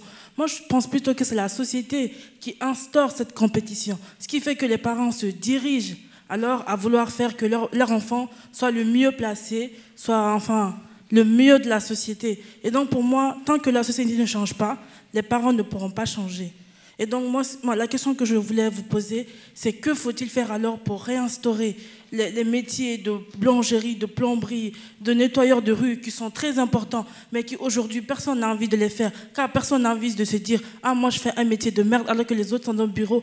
Mais c'est vrai, la, vérité, c'est ça, parce que moi, je me retrouve à l'école. Quand quand on veut aller vers le professionnel, on dit qu'on est un mauvais élève. Alors que ça n'a rien à voir. C'est juste parce que peut-être qu'on a envie de faire le métier de plomberie, mais on se retrouve à dire Ah non, juste parce qu'on est dirigé vers là, on est un mauvais élève, alors que n'a rien à voir. Moi, je pense qu'il faudrait réinstaurer. Et si on réinstaure ces métiers, cette profession qui est, enfin, le professionnel qui est aussi un, une partie de l'école qui est très importante, si on commence à déjà réinstaurer ça, à valoriser ça, alors moi, je pense que l'ascenseur social qui est en panne commencera peut-être à être un peu moins en panne. C'est tout. Merci. Une réponse?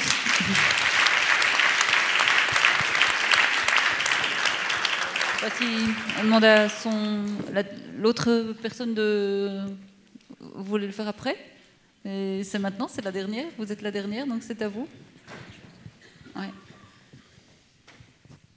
Alors moi, je m'appelle Adoma, je suis à l'université Saint-Louis. Euh, pour l'instant, je rejoins la plupart de ce qui a été dit précédemment.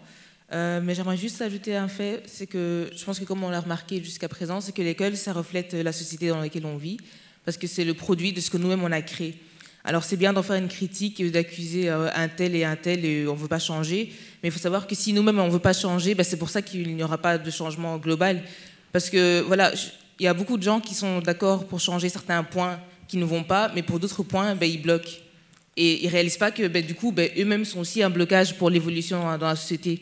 Et du coup, je trouve c'est quand même important de, oui, vous avez sorti des très bons points qu'il faut améliorer, mais aussi voir, euh, comme vous avez dit par rapport aux parents, euh, c'est facile de dire oui, il faut que les parents changent de mentalité, mais eux-mêmes sont le produit de cette société-là. Du coup, c'est un peu euh, hypocrite de dire voilà, euh, maintenant vous pensez comme ça, il faut changer. Moi, je trouve que c'est vrai que l'école reflète la société, mais on ne doit pas perdre espoir parce qu'à travers l'école, on peut aider à changer justement la société.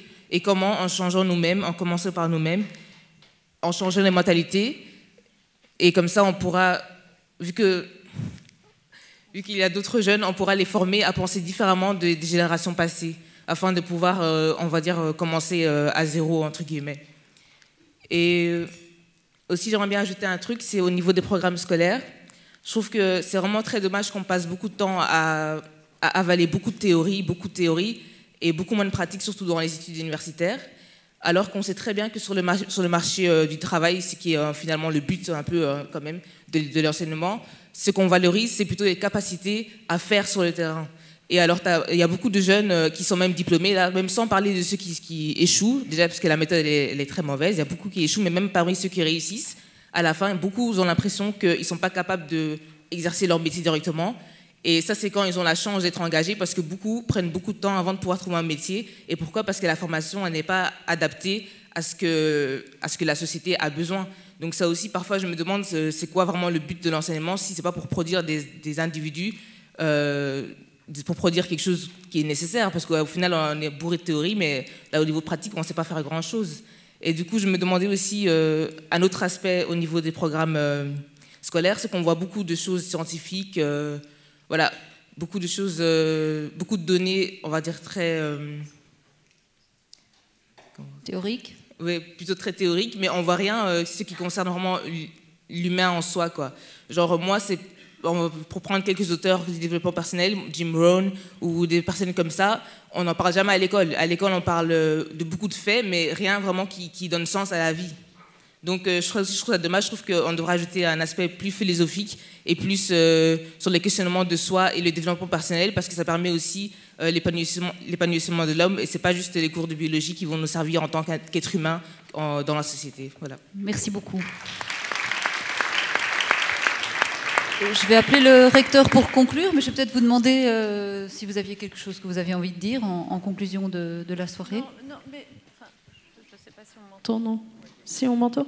Alors moi, je rebondirai juste sur les deux dernières interventions parce que, en fait, euh, je vous avoue qu'en vous écoutant toutes les deux, je me disais que si j'ai un grand regret, vraiment, euh, c'est de n'avoir pas, quand j'étais ministre de l'Éducation, alors que j'ai toujours été intimement persuadée qu'il fallait le faire, mais de n'avoir pas euh, mis à contribution les jeunes gens de votre âge, c'est-à-dire, je crois comprendre que vous êtes euh, de l'âge des étudiants, hein, c'est ça, vous avez fini votre scolarité secondaire, etc.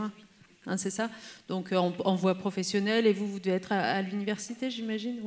Donc euh, de n'avoir pas mis à contribution les jeunes gens de votre âge, c'est-à-dire qui euh, s'engagent dans l'enseignement supérieur, pour réfléchir sur le système scolaire.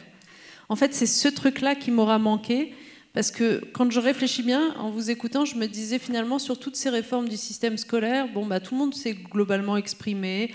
Euh, je l'ai dit, hein, les professeurs, bien entendu, les parents par le biais des fédérations de parents d'élèves, les observateurs, les journalistes, peu les chercheurs, mais quand même un peu, etc. Et finalement, je trouve que ceux qui ont la vie le plus intéressant, c'est vous qui sortez du système scolaire avec votre diversité, avec euh, euh, ceux qui ont réussi, ceux qui ont échoué. Mais justement, c'est intéressant d'écouter ceux qui ont échoué pour comprendre pourquoi ils ont échoué.